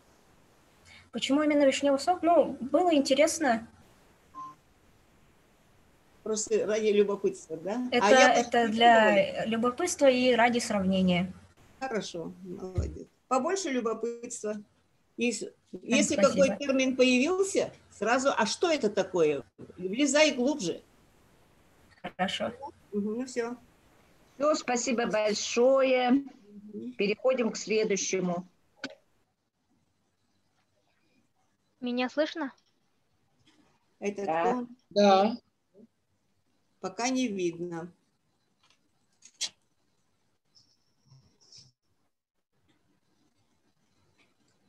Соловьева. А? Состав кумыса. 15. Здравствуйте, меня зовут Соловьева Ильяна, и я хотела бы вам представить свой проект под названием «Исследование состава кумыса и изучение его свойств».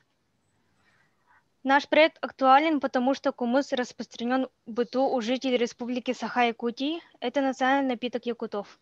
Кумыс обладает выраженными лечебными свойствами, замедляет развитие рака. В народной медицине кумыс применяют при истощении и авитаминозе. Цель исследования – определить состав кумыса и его свойств.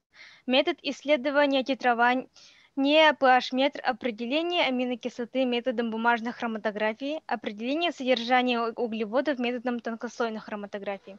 Перед нами стоят следующие задачи. Проанализировать литературу по теме исследования, определить кислотность, плотность и механические примеси, провести сравнительный анализ кумысы разных районов Якутии, проанализировать полученные результаты, наметить перспективы дальнейших исследований. Объектами исследования нами выбрано три кумысы местного производства. Это Черопчинский район, город Якутск и Послецов и город Якутск и Борисов. Химический состав кумыса состоит из последующих витаминов, ферментов, минералов и веществ. Определение кислотности по титрованию. Ход работы было взято 10 мл кумыса, разбавила 20 мл дистиллированной воды, добавили 2-3 капли фенофталина 1%, перемешал и добавил натрий OH до появления нежно-розового оттенка. Через одну минуту цвет изменился. В состав кумыса входит кислота. Цвет исчез, потому что при взаимодействии кислоты и щелочи произошла реакция нейтрализации. Расчет кислотности. Вывод. Кислотность всех этих кумыса превышает среднюю кислотность кумыса, которая равна 60-120 Т. В пробе номер один равна кислотность равна 180. В пробе номер два кислотность равна 131. В пробе номер три 129. В состав кумыса входит кислота. Определяем плотность по ареометру. Первая проба кумыс из Черпчинского района 1000 грамм на миллилитр. Вторая проба кумыс Тунах 1005 грамм на миллилитр. И третья проба 1017 грамм на миллилитр. Определение плотности по pH-метру. Работу мы выполняли прибором по названию pH-метр. Ход работы. Первая проба равна 3,59 pH, вторая проба 3,58 pH и третья проба 3,52 pH. Перед нами стоит э,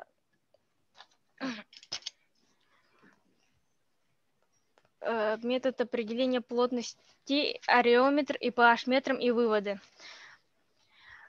Первые пробе результаты не противоречат друг другу, так как оба результаты приближены к результатам воды. Вторая проба, результаты не противоречат друг другу, как и в третьей пробе.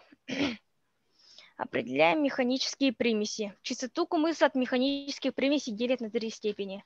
На фильтре нет грязи, на фильтре серый осадок, на фильтре грязно-серый осадок. Вывод. У наших кумысов нет механических примесей. Качественная реакция на углеводы. Ход работы. Добавили пробирку 1-2 мл кумыса и гидроксид натрия. Затем добавили 3-4 капли раствора сульфата меди и содержимое тщательно перемешали. Нагрели раствор до появления желтого остатка купрум H, который с течением времени превращается в осадок купрум H дважды красного цвета. Вот изменение цвета говорит о том, что там содержится глюкоза. Определение содержания углеводов методом тонкослойной хроматографии. Ход работы на пластинке на расстоянии 2 см от линии карты старта аккуратно намечаем карандашом три точки нанесения кумыса. С помощью капилляра в отмеченные места наносим кумыс, высушиваем пятна и помещаем пластинку в хроматографическую камеру, на дне которой находится БЭВА. Проходим хроматографию до прохождения финишной черты, высушиваем и проявляем хроматограмму, опрыскиваем из пульверизатора раствором нефторезорцина и сушим в сушильном шкафу 5-10 минут для проявления пятен углевода. Вывод. Моносахарины находились только во второй пробе кумыса из города Якутск. Методы определения углеводов. Тонкослойная хроматография и качественная реакция на углеводы. Выводы. Результаты подтверждают друг друга во всех пробах. Определение аминокислот методом бумажной хроматографии. На бумаге на расстоянии 1 см от нижнего края аккуратно намечаем карандашом точки нанесения растворов аминокислот. С помощью капилляра отмеченные места наносят равные объемы раствора аминокислоты, чтобы образовались пятна одного диаметра. После высушивания пятен бумагу перемещают в хроматографическую камеру, до дне которой находится растворитель. После того, как прохождение растворителя доходит до линии фронта, хроматограмму всушиваем и опрыскиваем из пульверизатора 0,2%. Раствором нингидрина в ацетоне и сушим в сушильном шкафу 5-10 минут при температуре 90-100 градусов для проявления пятен аминокислоты хроматографии на определение аминокислот. Выводы. Нами проведены химические опыты на титрование, определение кислотности по pH метру, определение механических примесей, определение аминокислот методом бумажной хроматографии и определение содержания углеводов методом тонкослойной хроматографии. Средняя кислотность кумыса 60-120. По титрованию мы узнали, что наши три пробы превышают ее. Мы узнали по определению плотности по ареометру, что наши три кумыса сильно разбавлены водой, так как их плотность сильно приближена к плотности воды. Это определение белков мы узнали, что меньше всего белков в кумысе из города Якутска, белки ярко выражены в кумысе Тунах. Самая высокая плотность у кумыса из третьей пробы, самая низкая у кумыса из Черепчинского района. У всех кумысов первой степени чистоты по механическим примесям по определению углевода мы узнали, что углеводы находятся только в кумысе из третьей пробы. На основе этого рекомендуем употреблять кумыс для тех, у кого недостаток кислотности в организме, так как кумыс имеет высокую кислотность. Кумыс имеет первую степень по чистоты от механических примесей. Это означает, что кумыс чист от примесей. Спасибо за внимание. Так, спасибо. Хорошо. Вопросы, да? Вот углеводы вы определяли, да, в образцах и нашли только в одном вот э, качество или полезность или что-то такое, да, этих напитков, оно как связано с наличием или отсутствием углеводов? Эм,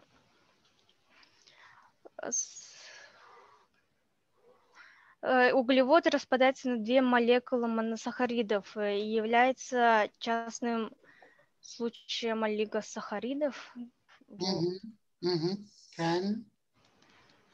Ну, я, я имела в виду полезность напитка.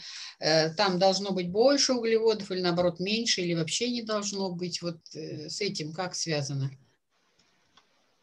Вы рекомендуете ну, какой кумыс? Где углеводы есть или где углеводов, наоборот, нет? Ну, Что ну где находятся углеводы? Ну, так кажется. Интуитивно так кажется.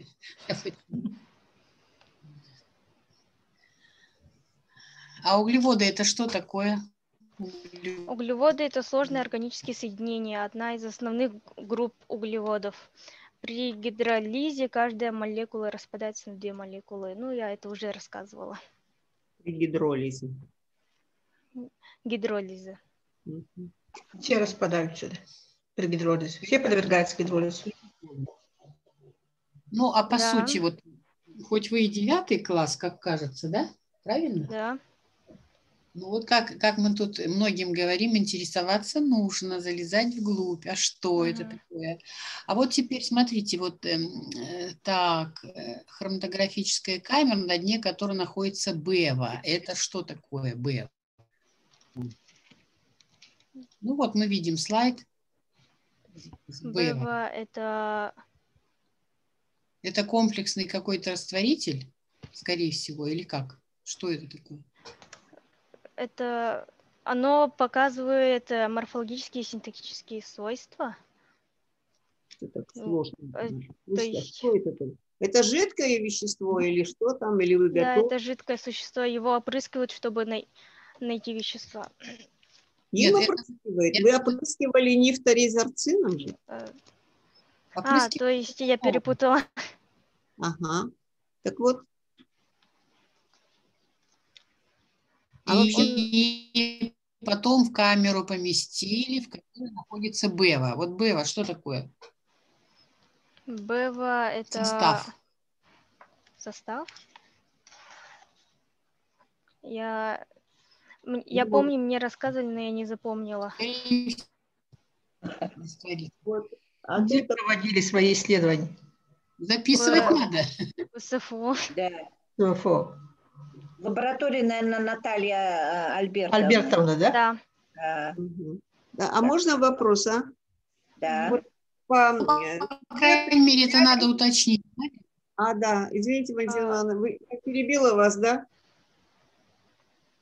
Задавайте, задавайте, Ольга вас... Ну, все, а можно, да? Там вы определяли кислотность, Давай. можно ту эту открыть, Вот это? Нет, определение нет, кислотность по титрованию. Во, во, во, во, где вот со штативом. Вот знаете, я, ну, все вы тут делали правильно. Ну, откройте сам слайд. Мне ваши фотографии не нужны. Мне нужен вот слайд, на котором штатив и... Во, во, во, во, во, во. Ну, тут ход работы, тут все нормально. Штатив красивый у вас все, но мне режет глаз вот название, определение кислотности по титрованию. Вот так химики не говорят. Это ты можешь подружке сказать. А здесь надо было сказать титриметрическое определение кислотности, а, понимаете? Ну, вот, вот грамотное, правильное, это, так сказать, название, обязательно, и, вот правильно Валентина Ивановна уже вам говорила, надо, э, ну как, любопытствовать, надо соответствовать. И поэтому теперь дальше тут э, было взято, перемешал, тут просто взято 10 мл, это ход работы, значит, в коническую колбу ввести 10 мл кумыса, разбавить 20 мл дистиллированной воды.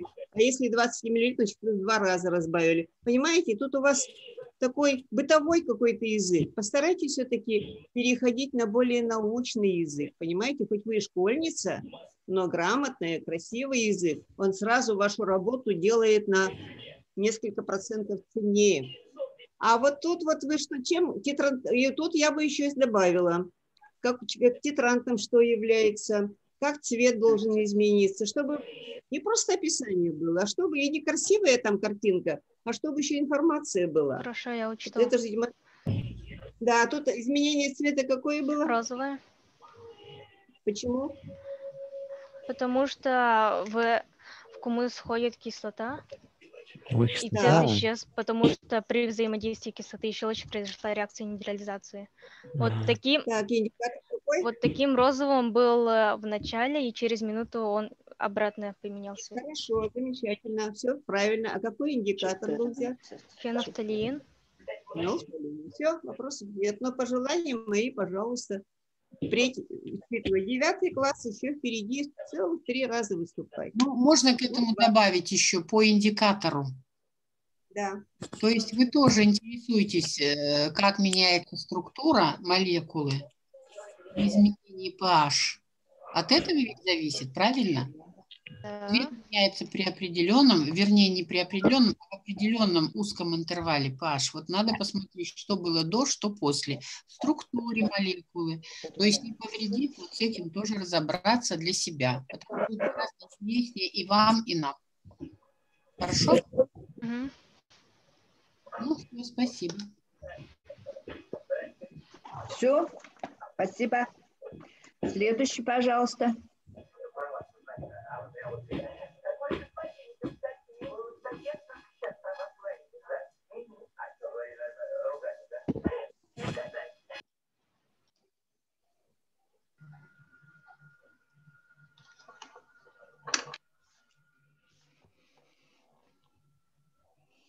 А вот тут вот тоже вторая проба, ну тоже что-то мне не нравится, как они висят на картиночке. Проба 3, pH равно 3,52 должно быть. Алло. Лилиана, вы слышите? Не слышите. Ладно. Вот включилась уже. Ага. Ну, там по, по, исправлений много, конечно, надо По, слай, по слайдам-то, конечно, можно... Да.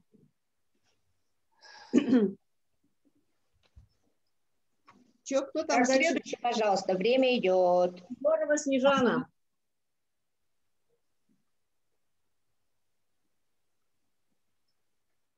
А, она закончила выступать, а, да? Альбина Степанова.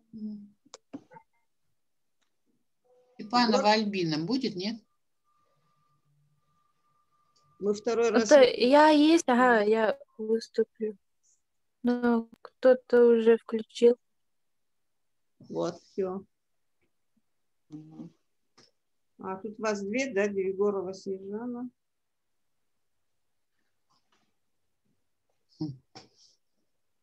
И Яковлева Диана. Так, пожалуйста.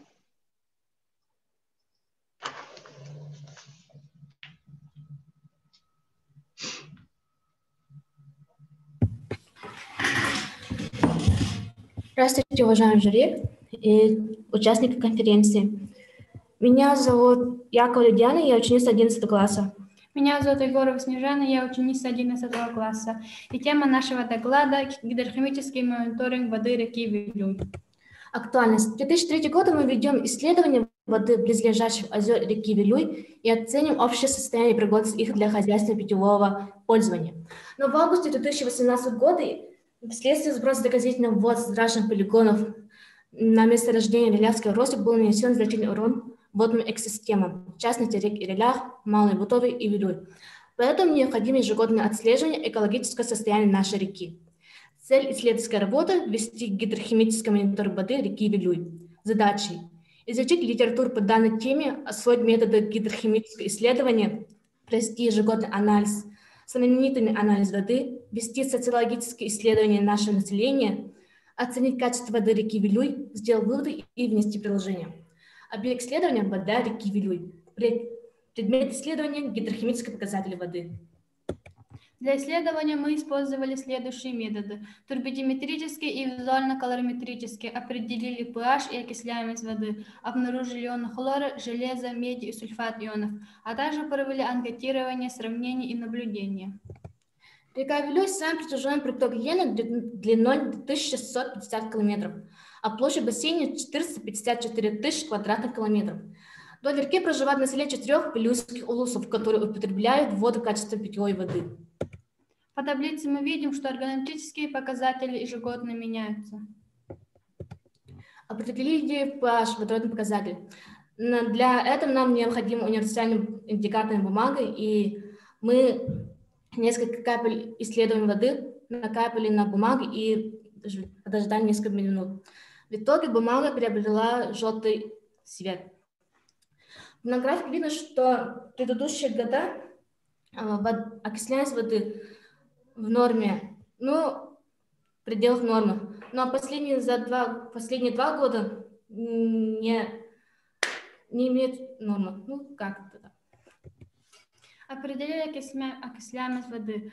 В 5 мл следуем воды мы перелили 0,3 растворы серной кислоты и 0,5 мл растворы перманганата калия. Перемешали и оставили на 20 минут.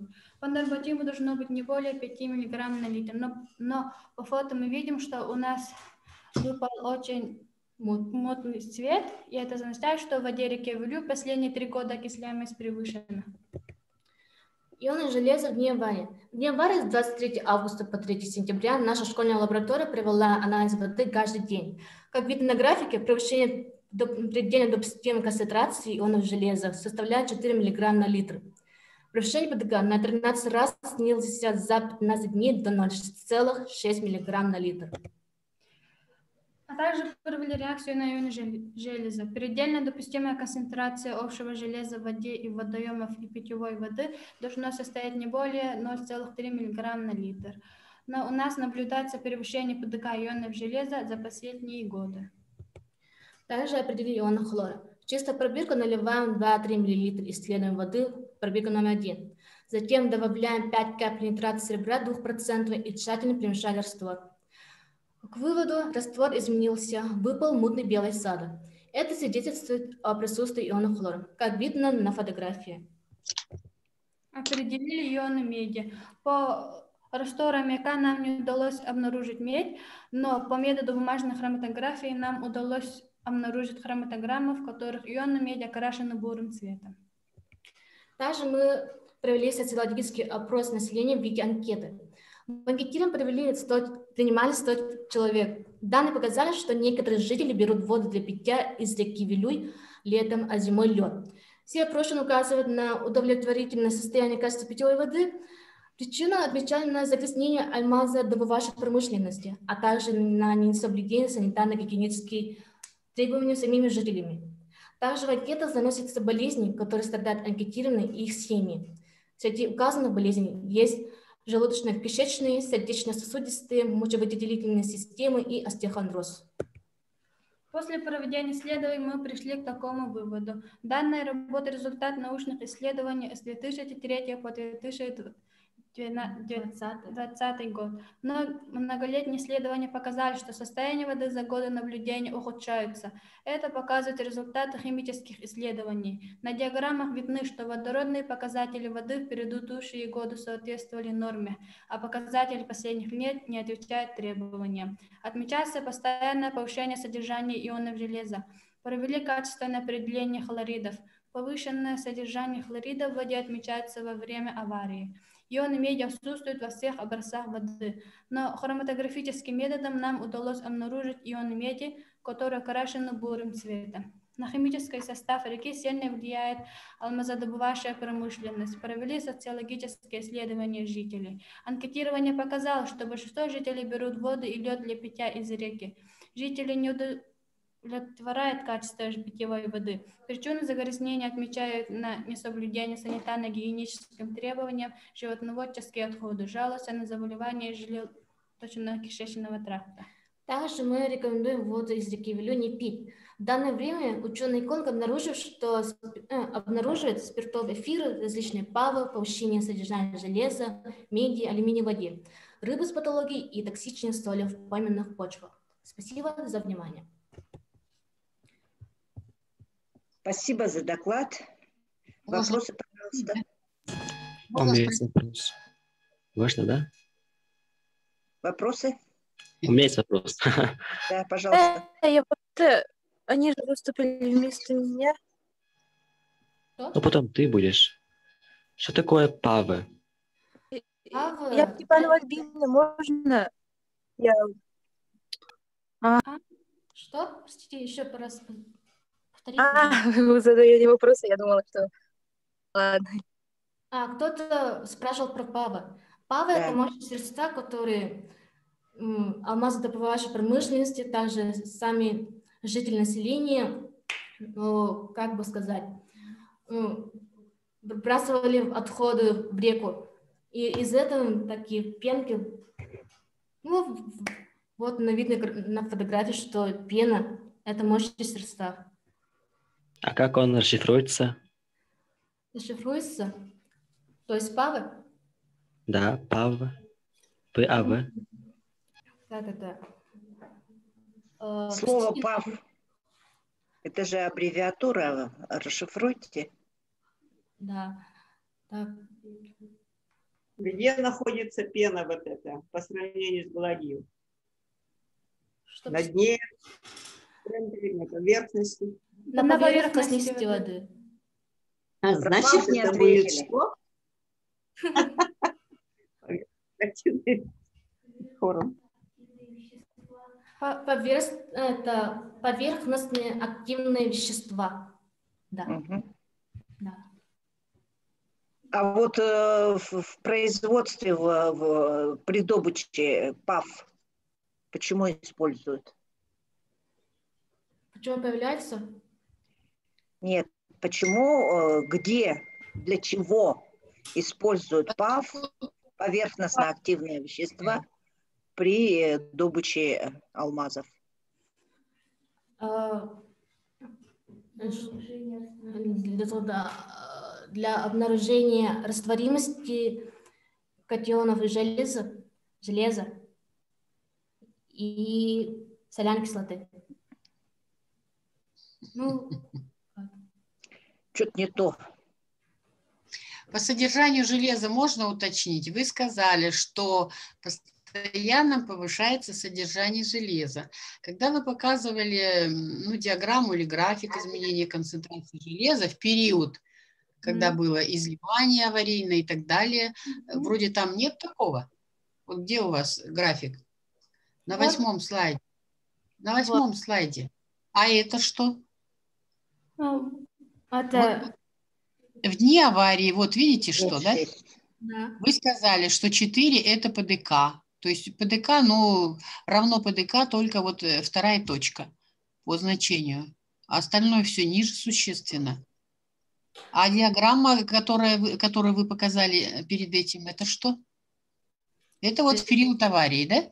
Да, период аварии. А э, вот pre предыдущую, на что вы указывали перед этим, диаграмму покажите. Вот эту?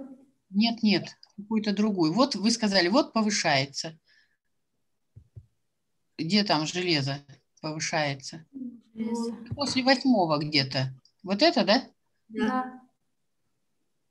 Так, превышение ПДК. Так мелко все очень. А это в какой период? А по годам, да? С 2017 а, ну, в начале аварии. А в какой период? В начале аварии, в 2018 году, в августе. В августе. Угу. Так, а значений-то не видно все-таки? Там вот максимальное значение это какое? Максимально 0,8. 0,8 против 0,4, да? Да. Вот надо 0,4 линию показать, ну и вообще покрупнее эти цифры все показывать. Угу. Чтобы не, не ждать от вас разъяснения, а самим все видеть. По годам, ясно. Угу. Ну, то есть железо все-таки с аварией связано, нет? Связано. Прямо-таки связано. А в период аварии вы показываете ниже ПДК значение. Ну ладно, спасибо. Все.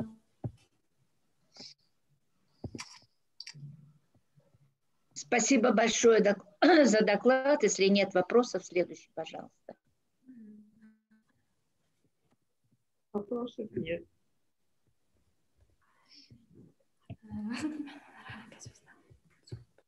Так, да, следующий, следующий, следующий. КДК и это не поняла. Период аварии, там все в пределах ПДК. Ничего не понятно. Так, ладно. Следующий. А,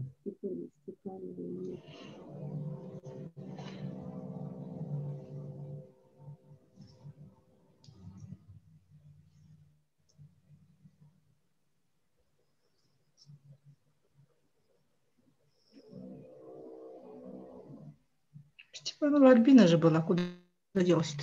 Нету ее. Сейчас Егорова Снежана выступала. С этой угу. Ну, вроде бы хотела там вломиться во время выступления. А-а-а. Куда пропала-то? Ну, Альбина там выскакивала. Василенко угу. будет или же Степанова? Ребята, а давайте, а, поскорее.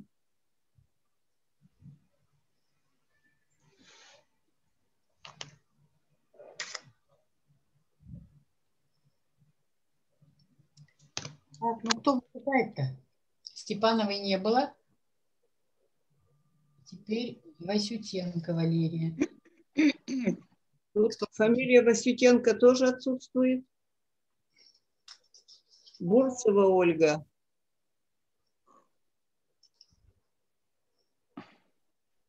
Ну, Чурукова-то уже выступала же.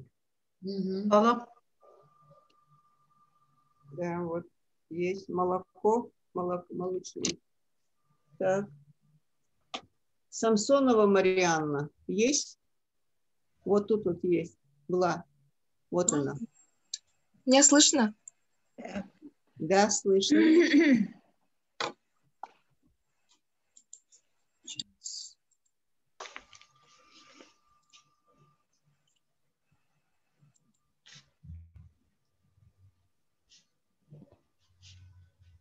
Сейчас, минуточку. Марианна. Батадай. Ух ты. Как далеко ты. А, да, Усть-Алдан. Девятый класс.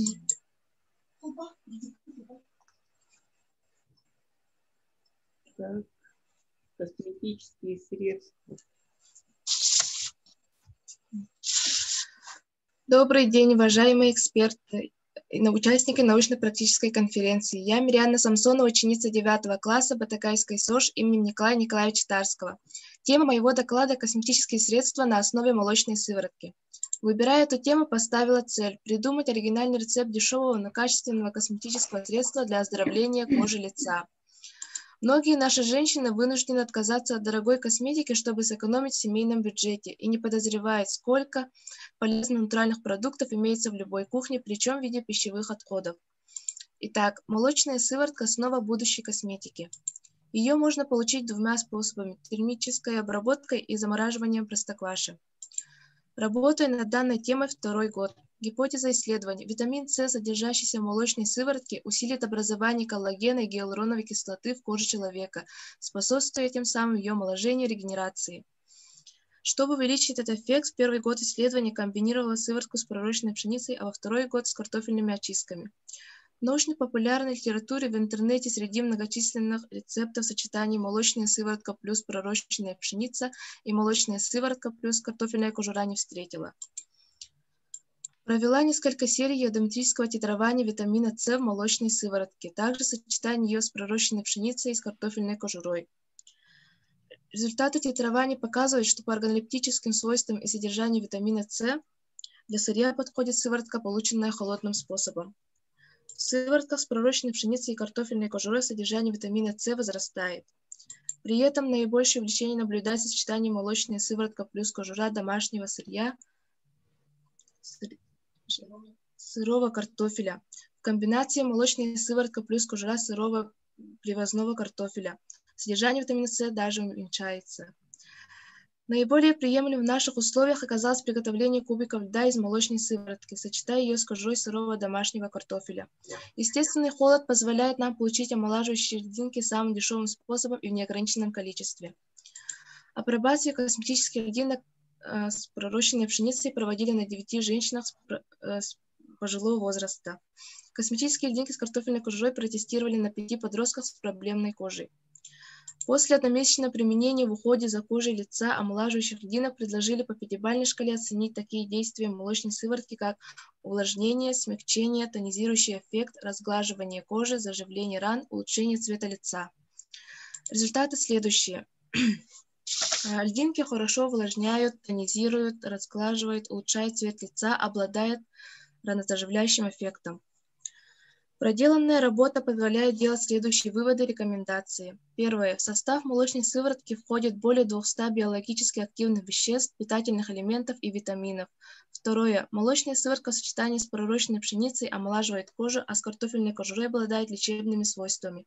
Третье. Молочная сыворотка может стать выгодным сырьевым продуктом для индивидуальных предприня... предпринимателей, хозяйств, аграрных комплексов, занимающихся переработкой молока. В этом заключается практическая значимость моей работы. Спасибо за внимание. Спасибо. Вопросы, пожалуйста. У меня есть вопрос. Пожалуйста. А переохлаждение влияет пагубно на свойства сыворотки молочной? А, когда мы выносим на холод а, омолаживающие льдинки, он сохраняет, а, а, он а, сохраняет витамин С. Только витамин С. А? Только витамин С. Да. А, хорошо. Можно сюда же, к этим льдинкам. А в общем-то льдинки же могут и какое-то действие оказывать. Как Можно таковые еще, просто. Потому что они... Вот вы про льдинки же говорили в конечном итоге, правда? Да? Да. Угу. Замораживали, получали льдиночки, потом этими льдинками можно пользоваться, эффекты впечатляющие весьма. Может быть, там просто температурное влияние какое-то? Плюс ко всему...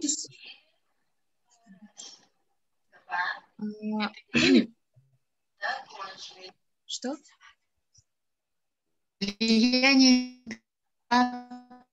этих кубиков, оно ведь тоже очевидно. Вы обратили на это внимание? На влияние температуры кубиков. Они же холодные, вытащили из холодильника мерзлую льдинку.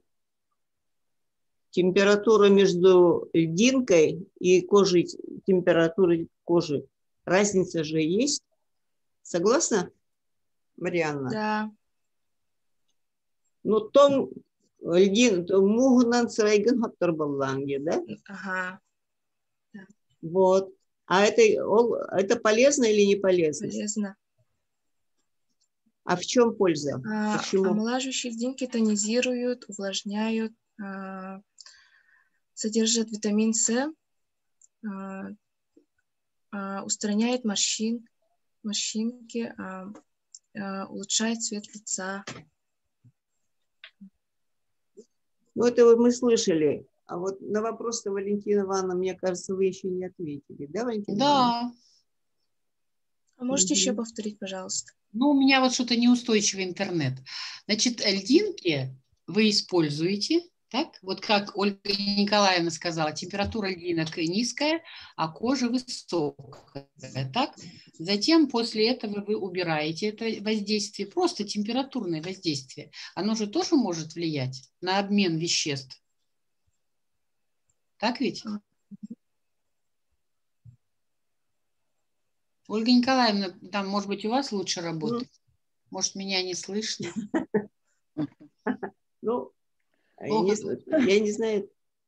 Вроде бы э, Марианна... Влияет, но Марианна. с льдинками лучше. Льдинками лучше. А эти льдинки ты в чем замораживала? Специально в этих э, пакетиках, да, видимо? Нет, а в формах.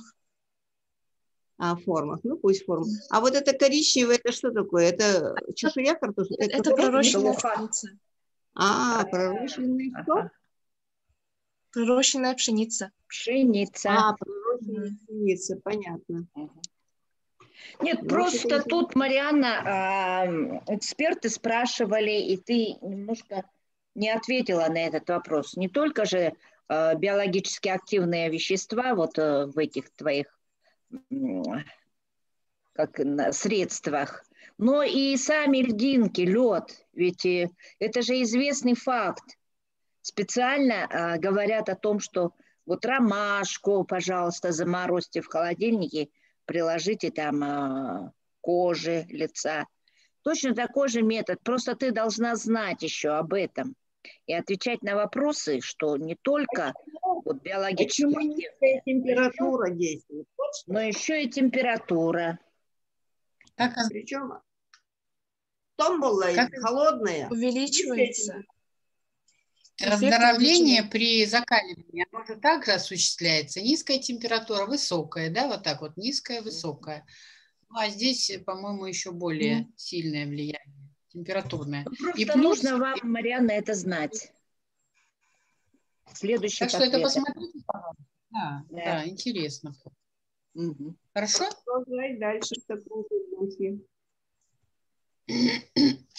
А вот от Иванова Ювеналии вопрос, как впитывается сыворотка, спрашивает девушка. Что? Можно еще, пожалуйста? Девушка спрашивает, как впитывается сыворотка? На холоде. А хорошо увлажняет. Хорошо увлажняет. Ну все. Кожа лица. Кожа лица. Ладно. У меня тоже есть вопрос. А эти льдинки использовать до, там, а когда использовать? После крема, до крема или вообще до очищения кожи? А после очищения кожи. Окей. Ну все, спасибо. Ага, давайте следующий доклад.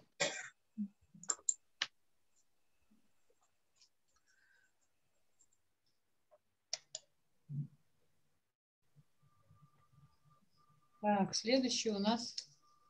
Кто следующий-то? Филиппова Юлия.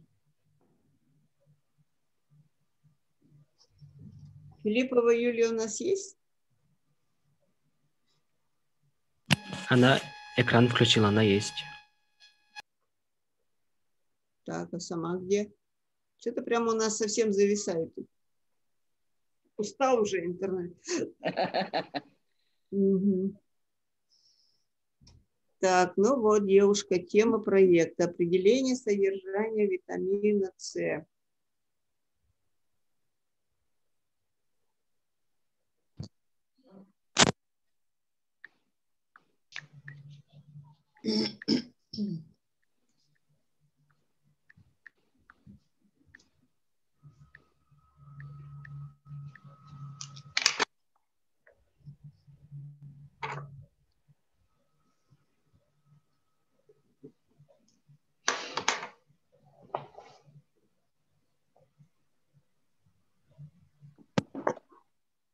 Так, пожалуйста. Юля. Давай.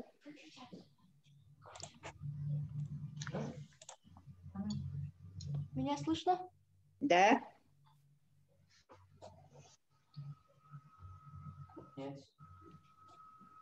Юлия, начинайте, пожалуйста. Да, да, да. И видно, и Здравствуйте, Филиппова Юлия, ученица 9 класса Мобусов школы номер 7 города Якутска. Тема проекта определение содержания витамина С в натуральных соках и овощах методом ядометрии в условиях школьной лаборатории. Актуальностью работы является то, что иммунная система защищает организм от воздействия внешних неблагоприятных факторов против агрессивного действия бактерий, грибков, вирусов – это мы стали еще больше осознавать с последними событиями в мире, связанными с пандемией. Цель нашей работы – определение наличия витамина С в отдельных овощах и в натуральных соках методом ядометрии в школьной лаборатории.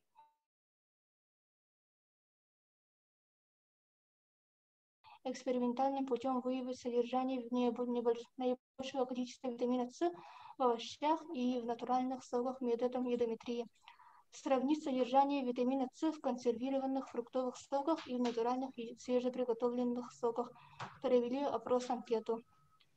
Гипотеза. Если выяснить, в каких овощах и фруктах содержится наибольшее количество витамина С, то их можно рекомендовать для регулярного потребления. Методы исследования являются ядометрия и титрование. Эксперименты по определению витамина С в натуральных овощах и фруктах.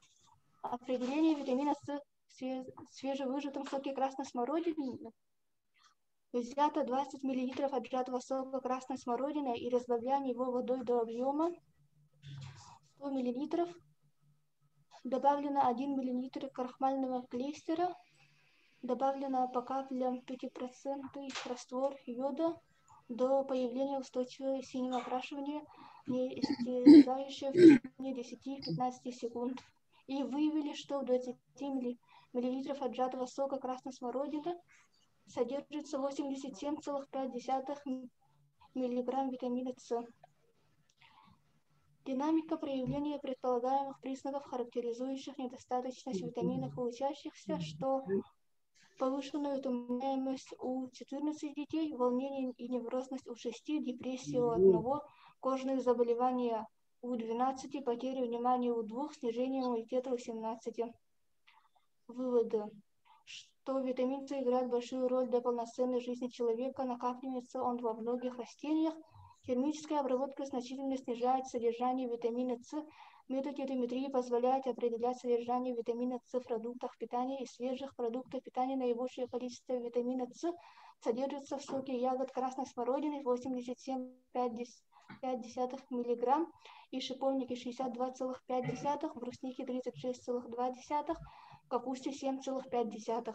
В ходе исследования мы установили, что образцы соков содержат витамин С, а значит они являются витаминизированными напитками. Из, из результатов исследования видно, что различные торговые марки соков содержат разное количество витамина С. Большое содержание выявили в апельсиновом, апельсиновом соке торговой марки Сады Придонья, а меньшие в соке Да. Витамин С – это незаменимый витамин для жизнедеятельности организма, который сам в организме не синтезируется, он должен поступать с пищей. Желательно больше употреблять сырых фруктов и овощей, пить витаминизированные напитки, принимать синтетические витаминизированные препараты. В рационе должны присутствовать сладкий красный перец, капуста, шиповник, соки – Используя данные исследования, мы провели беседу для учащихся пятых-восьмых классов. Планируем рассказать о здоровом образе жизни родителям. Спасибо за внимание.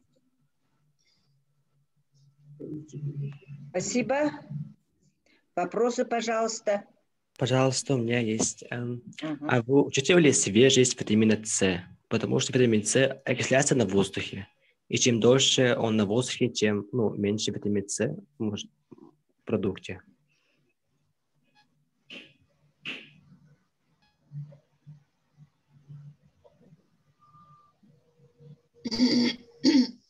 Вы учитывали это?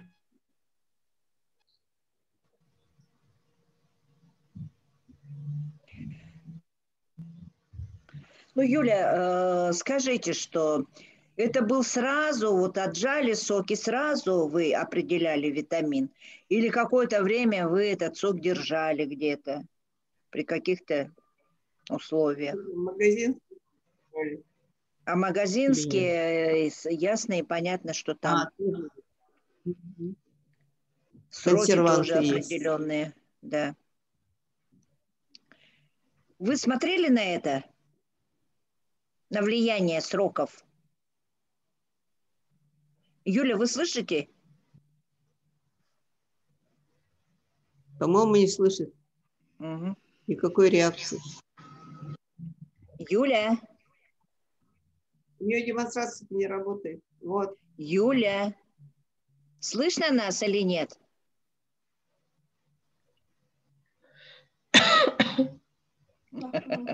Можете Слышишь или нет? Да, слышу. Вопрос был в том, что это самое, что витамин С, он окисляется. И чем дольше вы соки будете хранить где-то, то, естественно, там содержание его уменьшится. Вы на это обращали внимание?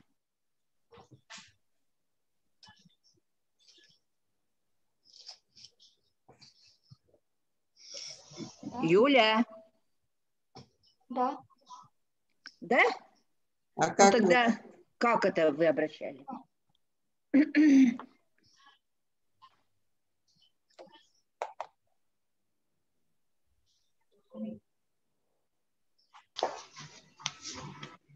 Ну, ответьте на методику тогда, расскажите. Хранили вы этот сок или нет? А, да, хранили. Где? А, И сколько дней? Ну, в холодильнике. В холодильнике. Холодильник? Один день. После этого только определяли содержание витамина С? после того, как выдержали в холодильнике? Так или нет? Да. Да. То есть абсолютно все соки вы выдержали, все соки в течение там суток в холодильнике, потом определяли? Угу, да. Да? Окей, это ответ. У вас же написано свежевыжато, моя свежевыжатая, я понимаю, вот выжили и сразу сделали. Без хранения. Да. А, то есть мы сразу все сделали. А, ну а что ты говоришь, в холодильнике хранили сутки? Ну хорошо, ладно, на это не обращали они внимания. Явно не обращали внимания. А Наверное, соки они хранили. хранили. Соки покупные да, соки хранили в холодильнике, видать. Я так понимаю. Так, теперь вот э, недавно только была работа, Юля, слушай, по витаминам С, по витамину определения содержания. Там тоже шиповник, тот же, та же красная смородина, черная брусника. Так там содержание больше всего в шиповнике, а у вас получилось э, в красной смородине. Так? Чем вы можете объяснить такое расхождение? Видите? соки красной смородины больше, чем в шиповнике. А до этого была работа в шиповнике больше, чем в красной. А шиповник старый был. Шиповник старый был? Ну, как-то это соизмеряется с литературными данными. Ведь э, витамин С много изучали, содержание витамина в разных ягодах, плодах и так далее. Вы анализировали литературные данные? Где ага. больше, шиповники или смородине по литературе? Шиповники. А у вас наоборот получилось, да? Ну, вот она говорит, шиповник старый да. был. Так, есть вопросы? По-моему, нет. Спасибо. Есть вопросы? Есть, да? Нет. Тогда следующий доклад, потому что у нас три доклада осталось. Я почему гоню? Потому что Милана Егоровна, организаторы сказали, ну можно посидеть, я хочу всех прогнать, если они есть. Потому что из-за трех работ опять в 9 приходить совсем вот нехорошо это. Есть у нас три выступающих, которые заявили себя? Или список у нас исчерпан? Александр. Можно я выступлю, да? Так, давайте. Так, кто? Угу. Заново, да? Включу. Ага. Представьтесь. Подождите. А, Степанова.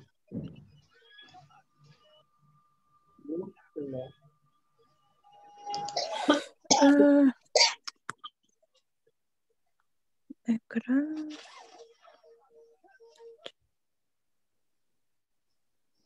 Альбина Степанова, что ли? Mm. А, угу. Ага, включена, да? Показывается. Да. Ну, показывайте. Ну, очень мелко. Да? Почему вы так променяете это? Почему вы не Подождите. можете вот... О чем мне ждать? Демонстрацию экрана включайте. Зачем вот эту мелочь-то показывать? Наверное, да? Мелочь-то вообще это нормально показывается. У вас нормально, а у нас ненормально. Ну, мы, конечно, сегодня... А, а вот, нормально. Ага, Нормально. Ага, так. Как раз Показывается, Остановили да? вы. Исчезла. Ну что ж. Здравствуйте. Я... А. Так. Ага. Что ж. Меня зовут Степанова Альбина. Я, я хочу представить вам про наш проект на тему выделения бетулина из бересты березы повислой, произрастающей на территории Нюрбинского района. Ну, последующем я буду говорить только об этой березе, так что не вижу смысла проговаривать полный, полное название. Так. Ну, сначала я хотела... А, вообще проект для меня был больше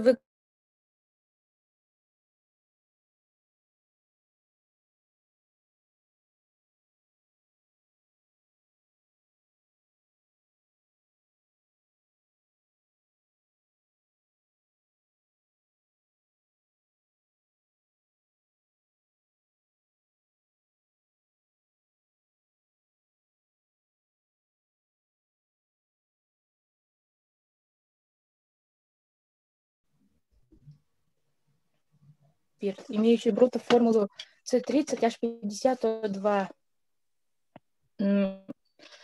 Он содержится в большом количестве э, больше растительных, ой, в растениях.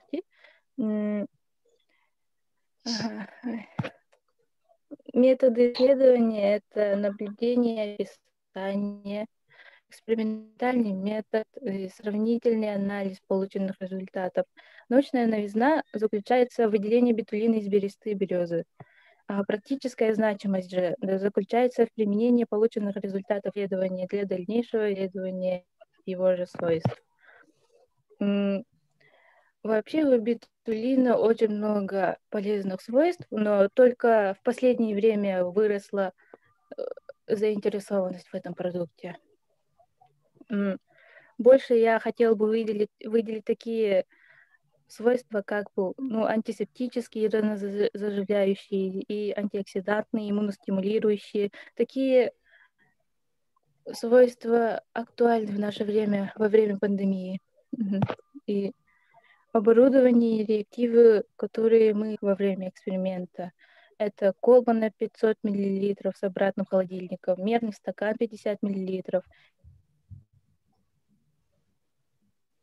баня, вин... аналитические весы, стеклянные палочки, пипетки 2, 5 и 10 миллилитровые и воронка. Реактивы же это этиловый спирт 96%, а, калий OH и дистиллированная вода.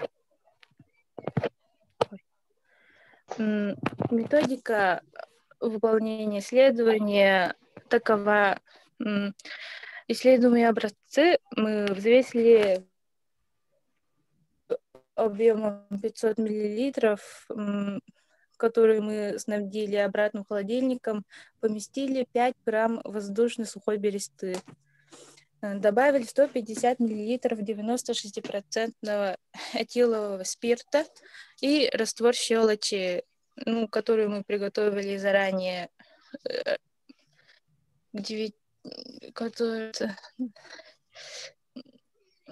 Этот раствор состоит из 9 грамм калия OH и 35 миллилитров воды. При нагревании коры происходит сублимация. Сублимация, а, ну, после кипячения эту Эту массу мы отфильтровывали от остатков бересты и полученный фильтр оставили на ночь для кристаллизации и промыли дистиллированной водой до нейтральной реакции, которую мы определяли по лакмусовой воде, э, по лакмусовой бумаге раз за разом. Угу. Вот полученные образцы и выводы это, во-первых, анализ, то, анализ научной литературы показал, что бетулин по сравнению с другими препаратами не так токсичен и не имеет побочных эффектов. Второй вывод произведена из помощи при помощи органического растворителя. Из 5 грамм получается ну, примерно полтора-два грамма порошка. И третье – это произрастание и возраст березы очень э, имеет большое влияние для большое влияние на выход продукта. Ага. Все. Так, спасибо большое. Как раз интересная тема. Вопросы, пожалуйста. У меня есть. Пожалуйста. Вот, береза чем моложе или чем старше, лучше бетулин выделяет?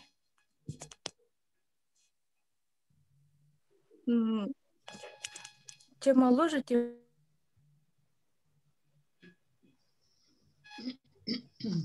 но, но доволь, это довольно-таки сомнительный ответ, поскольку мы не смогли э, изучить это досконально, поскольку у нас нет хрономатографа, чтобы а что в литературе сказано? Влияет ли возраст да, дерева на выход продукта. Так, а у меня вопрос следующий. А, Вы да, знакомы? имеет. Имеет. Вы знакомы с работами Киршенгольца Бориса Моисеевича? Когда вы, ана- у вас же там А. стоит в задачах анализ литературы. Знакомы? Ну, наверное, поскольку я уже не помню имена авторов. Таких я и не помню, да, из серии. Так, вот у него как раз последняя работа очень интересная, связана с тем, что они разработали уже препарат, который испытали на а, вот ковидных больных. И результат получился очень хороший. Особенно для тех больных, которые переболели и находятся в стадии ремиссии. Так у них срок вот этой стадии, он гораздо уменьшился. Вот как раз они э, препарат назвали бетукладин, содержащий бетулин. Не, не слышали? Альбина. Есть Похоже, пропадает. что нет. Нет. А? Нет. Ну, просто я советую обратить внимание, потому что тема-то очень интересная. И в дальнейшем, если вы 11 класс, кто будет продолжать за вами, а, вот э, обратите внимание на эти вещи. И там не только кремы или антисептические вещества можно делать, а принимать прямо вовнутрь, внутри. Так, есть вопросы еще? абитуриентам? Нету, спасибо. Так, Александр Михайлович, кто у нас там еще остался? Турцева осталось, да? Уже не слушали? Нет. По моим записям О, там должно быть Васютенко еще Выступала? две работы. Бурцева, Васютенко мы не слушали. Янка, Да. Самсонова, Филиппову послушали уже. А Егорову Снежану Бурцева есть? Слушали мы? А? Егорова слушали, ага. Яковлева, Ты ищи Егорову. фамилии Да, да. Бурцева и Васюченко. Янка, Самс- Да, вот Васютенко и Бурцева остались. А Самсонову послушали, да, уже? Послушали? Хорошо. Бурцева Двое остались. есть?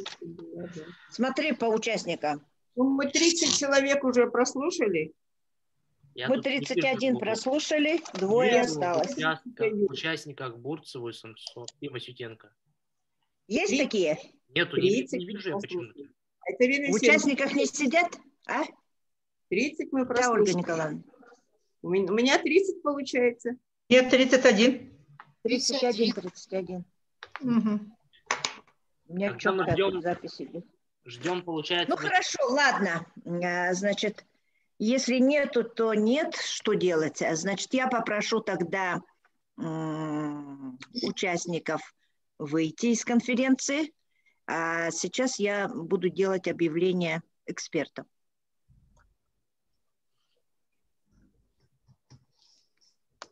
А экспертов нас мало.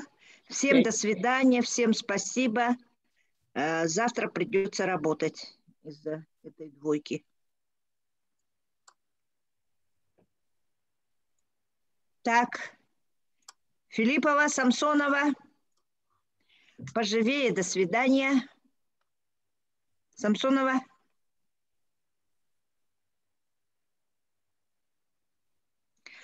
Так, ну у нас э, юниоры, они уже закончили давным-давно, естественно, так?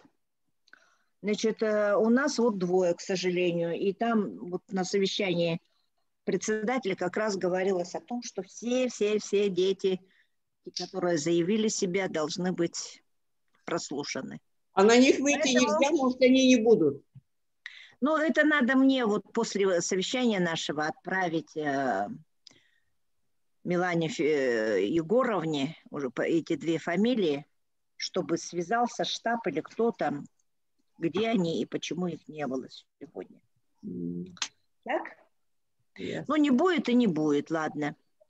Значит, дальше мы должны делать таким образом, чтобы у нас была единая картина, да? Значит, э, мы должны э, 45% из тех, кого мы послушали, Если будет 31, ну тут, тут я уменьшу, я рассчитывала на 33 человека. 45% э, это 15 человек мы должны наградить из того, что мы сегодня прослушали. Ну, половина почти, да? Значит, одна квот, один лауреат будет у нас. И дальше уже, ну, по, сами судите по работам, э, будут дипломы первой степени, дипломы второй степени, ну и дипломы четвертой степени и сделаем побольше. Один лауреат. Поэтому я предлагаю, ну, сейчас уже пять часов, сейчас мы голову себе ломать не будем, тем более, может быть, завтра еще двое появятся, я не знаю. Ольга Николаевна, вы завтра не присутствуете же, да? Нет.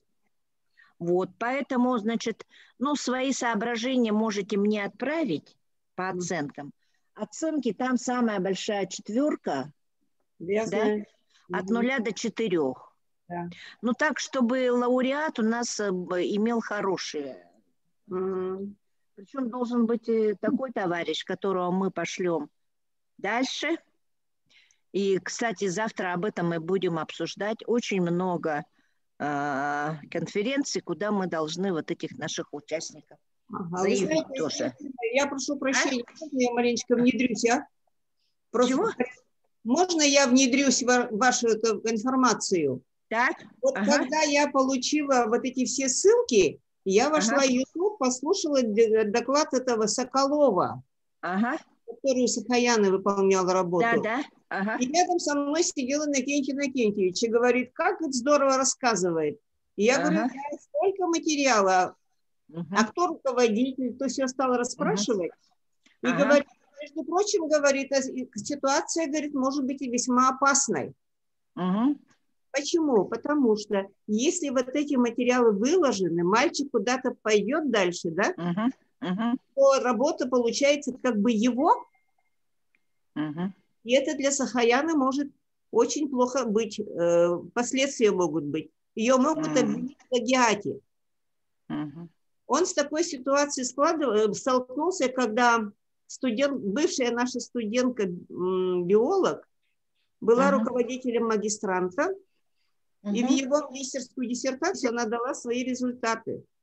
Mm-hmm. Стала представлять свою работу, а ее обвинили в плагиате, и до защиты mm-hmm. не допустили. И поэтому mm.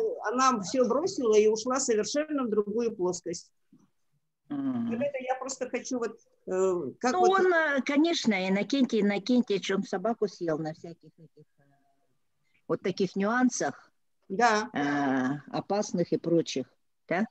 Как председатель диссовета, он это все знает, понимает. Ну, просто я хочу вот из тех работ, которые, вот лично мое мнение, прослушали, Угу. Вот мне больше всего эта работа понравилась. Я Это Соколова, да?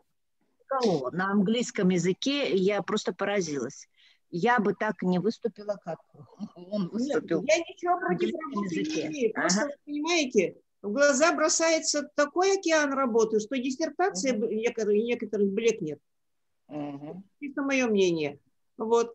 Ну, мальчик-то яркий, конечно, он говорит, он uh свободно общается, и ага. вот ну, какова его, ну, я не мне оценивать его, так сказать, ага. вклад личный, что он как ага. в этом разбирается.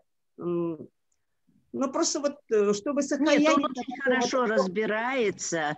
Э, я просто вспоминаю те работы, которые до этого у нас были лауреаты, много работ по коллагену было, помните, да? Да, да, да. Там да. тоже Петрова хорошо так поработала, ну, имея в виду, что отдала много чего. А до этого были работы э, Аншаковой, как вы помните, тоже по лишайникам, да? Mm-hmm. А, и эти дети, чем это хорошо? Они, значит, все становились там лауреатами, а это вот всегда плюс для нашей это конференции. Это прекрасно, я понимаю. Мне просто, я совершенно не против мальчика. Я просто хочу, чтобы вот на будущее для Сахаяны, как это скажется. Не навредила. Да, да. А то выйдет, а ей скажут, все, гуляй, и что делать? А Нет, я... у Сахаяны столько всего, что это малая толика. Ну, малая тогда, толика. Ну, ага. Тогда я ничего не У нее диссертация вот просто там, я хочу половину уже, ну, не знаю, убрать отсюда. Она много работает, у нее очень много интересных данных. Ну, может быть, такие может. Я, я, неординарные я, такие вещи. Ради бога. Просто чтобы Ага. ей не навредить. Все, больше мне никаких. Все а понятно. яркий, ну, ну, слава богу. Откуда он вообще сам-то? Он э, из Сунца, Сунц. Я поняла, что он из Сунца. Туда он откуда? Ага. Вот из какой школы он туда прибыл, я не могу сказать. Городской, да? Городской парень, ага. А, Ну, Вот. прям такой, ага. Ну, все понятно.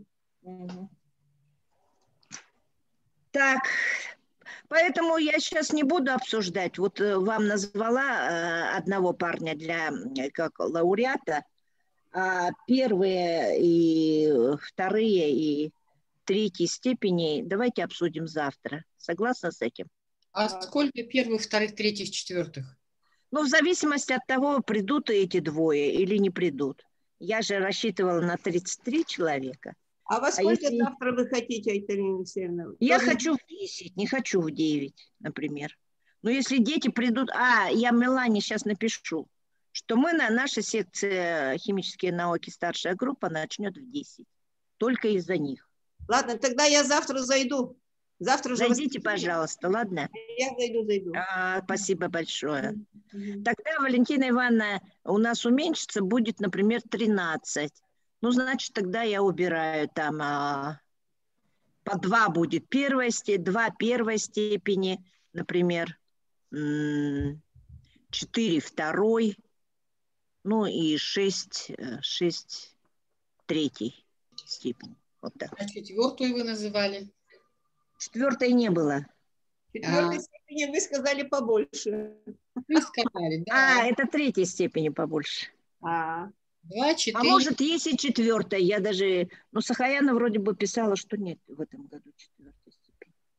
Так, а лауреатство считается в этом количестве? Да, в наверное? нашем списке считается. 13 тогда в сумме Ну, будет. в сумме 13, да. Мгм. Хорошо. Может, еще и изменится, не знаю. Ну, понятно. Поэтому всем спасибо за работу. И завтра в 10 э, попрошу, значит, тоже э, включиться. Если эти не придут, то только обсудим это места и э, рекомендации на конференции. ясно. Там тоже посмотрите. Домашнюю работу даю вам. Хорошо. Залезьте в рекомендации, какие есть конференции и кого куда приблизно. Хорошо? Ясно. Саша, завтра быстрее. Саша, Да, Саша, вот видишь, какой у меня фон? да. Да, как мне его убрать? Там нужно в настройках зайти. В самом Настройки. начале?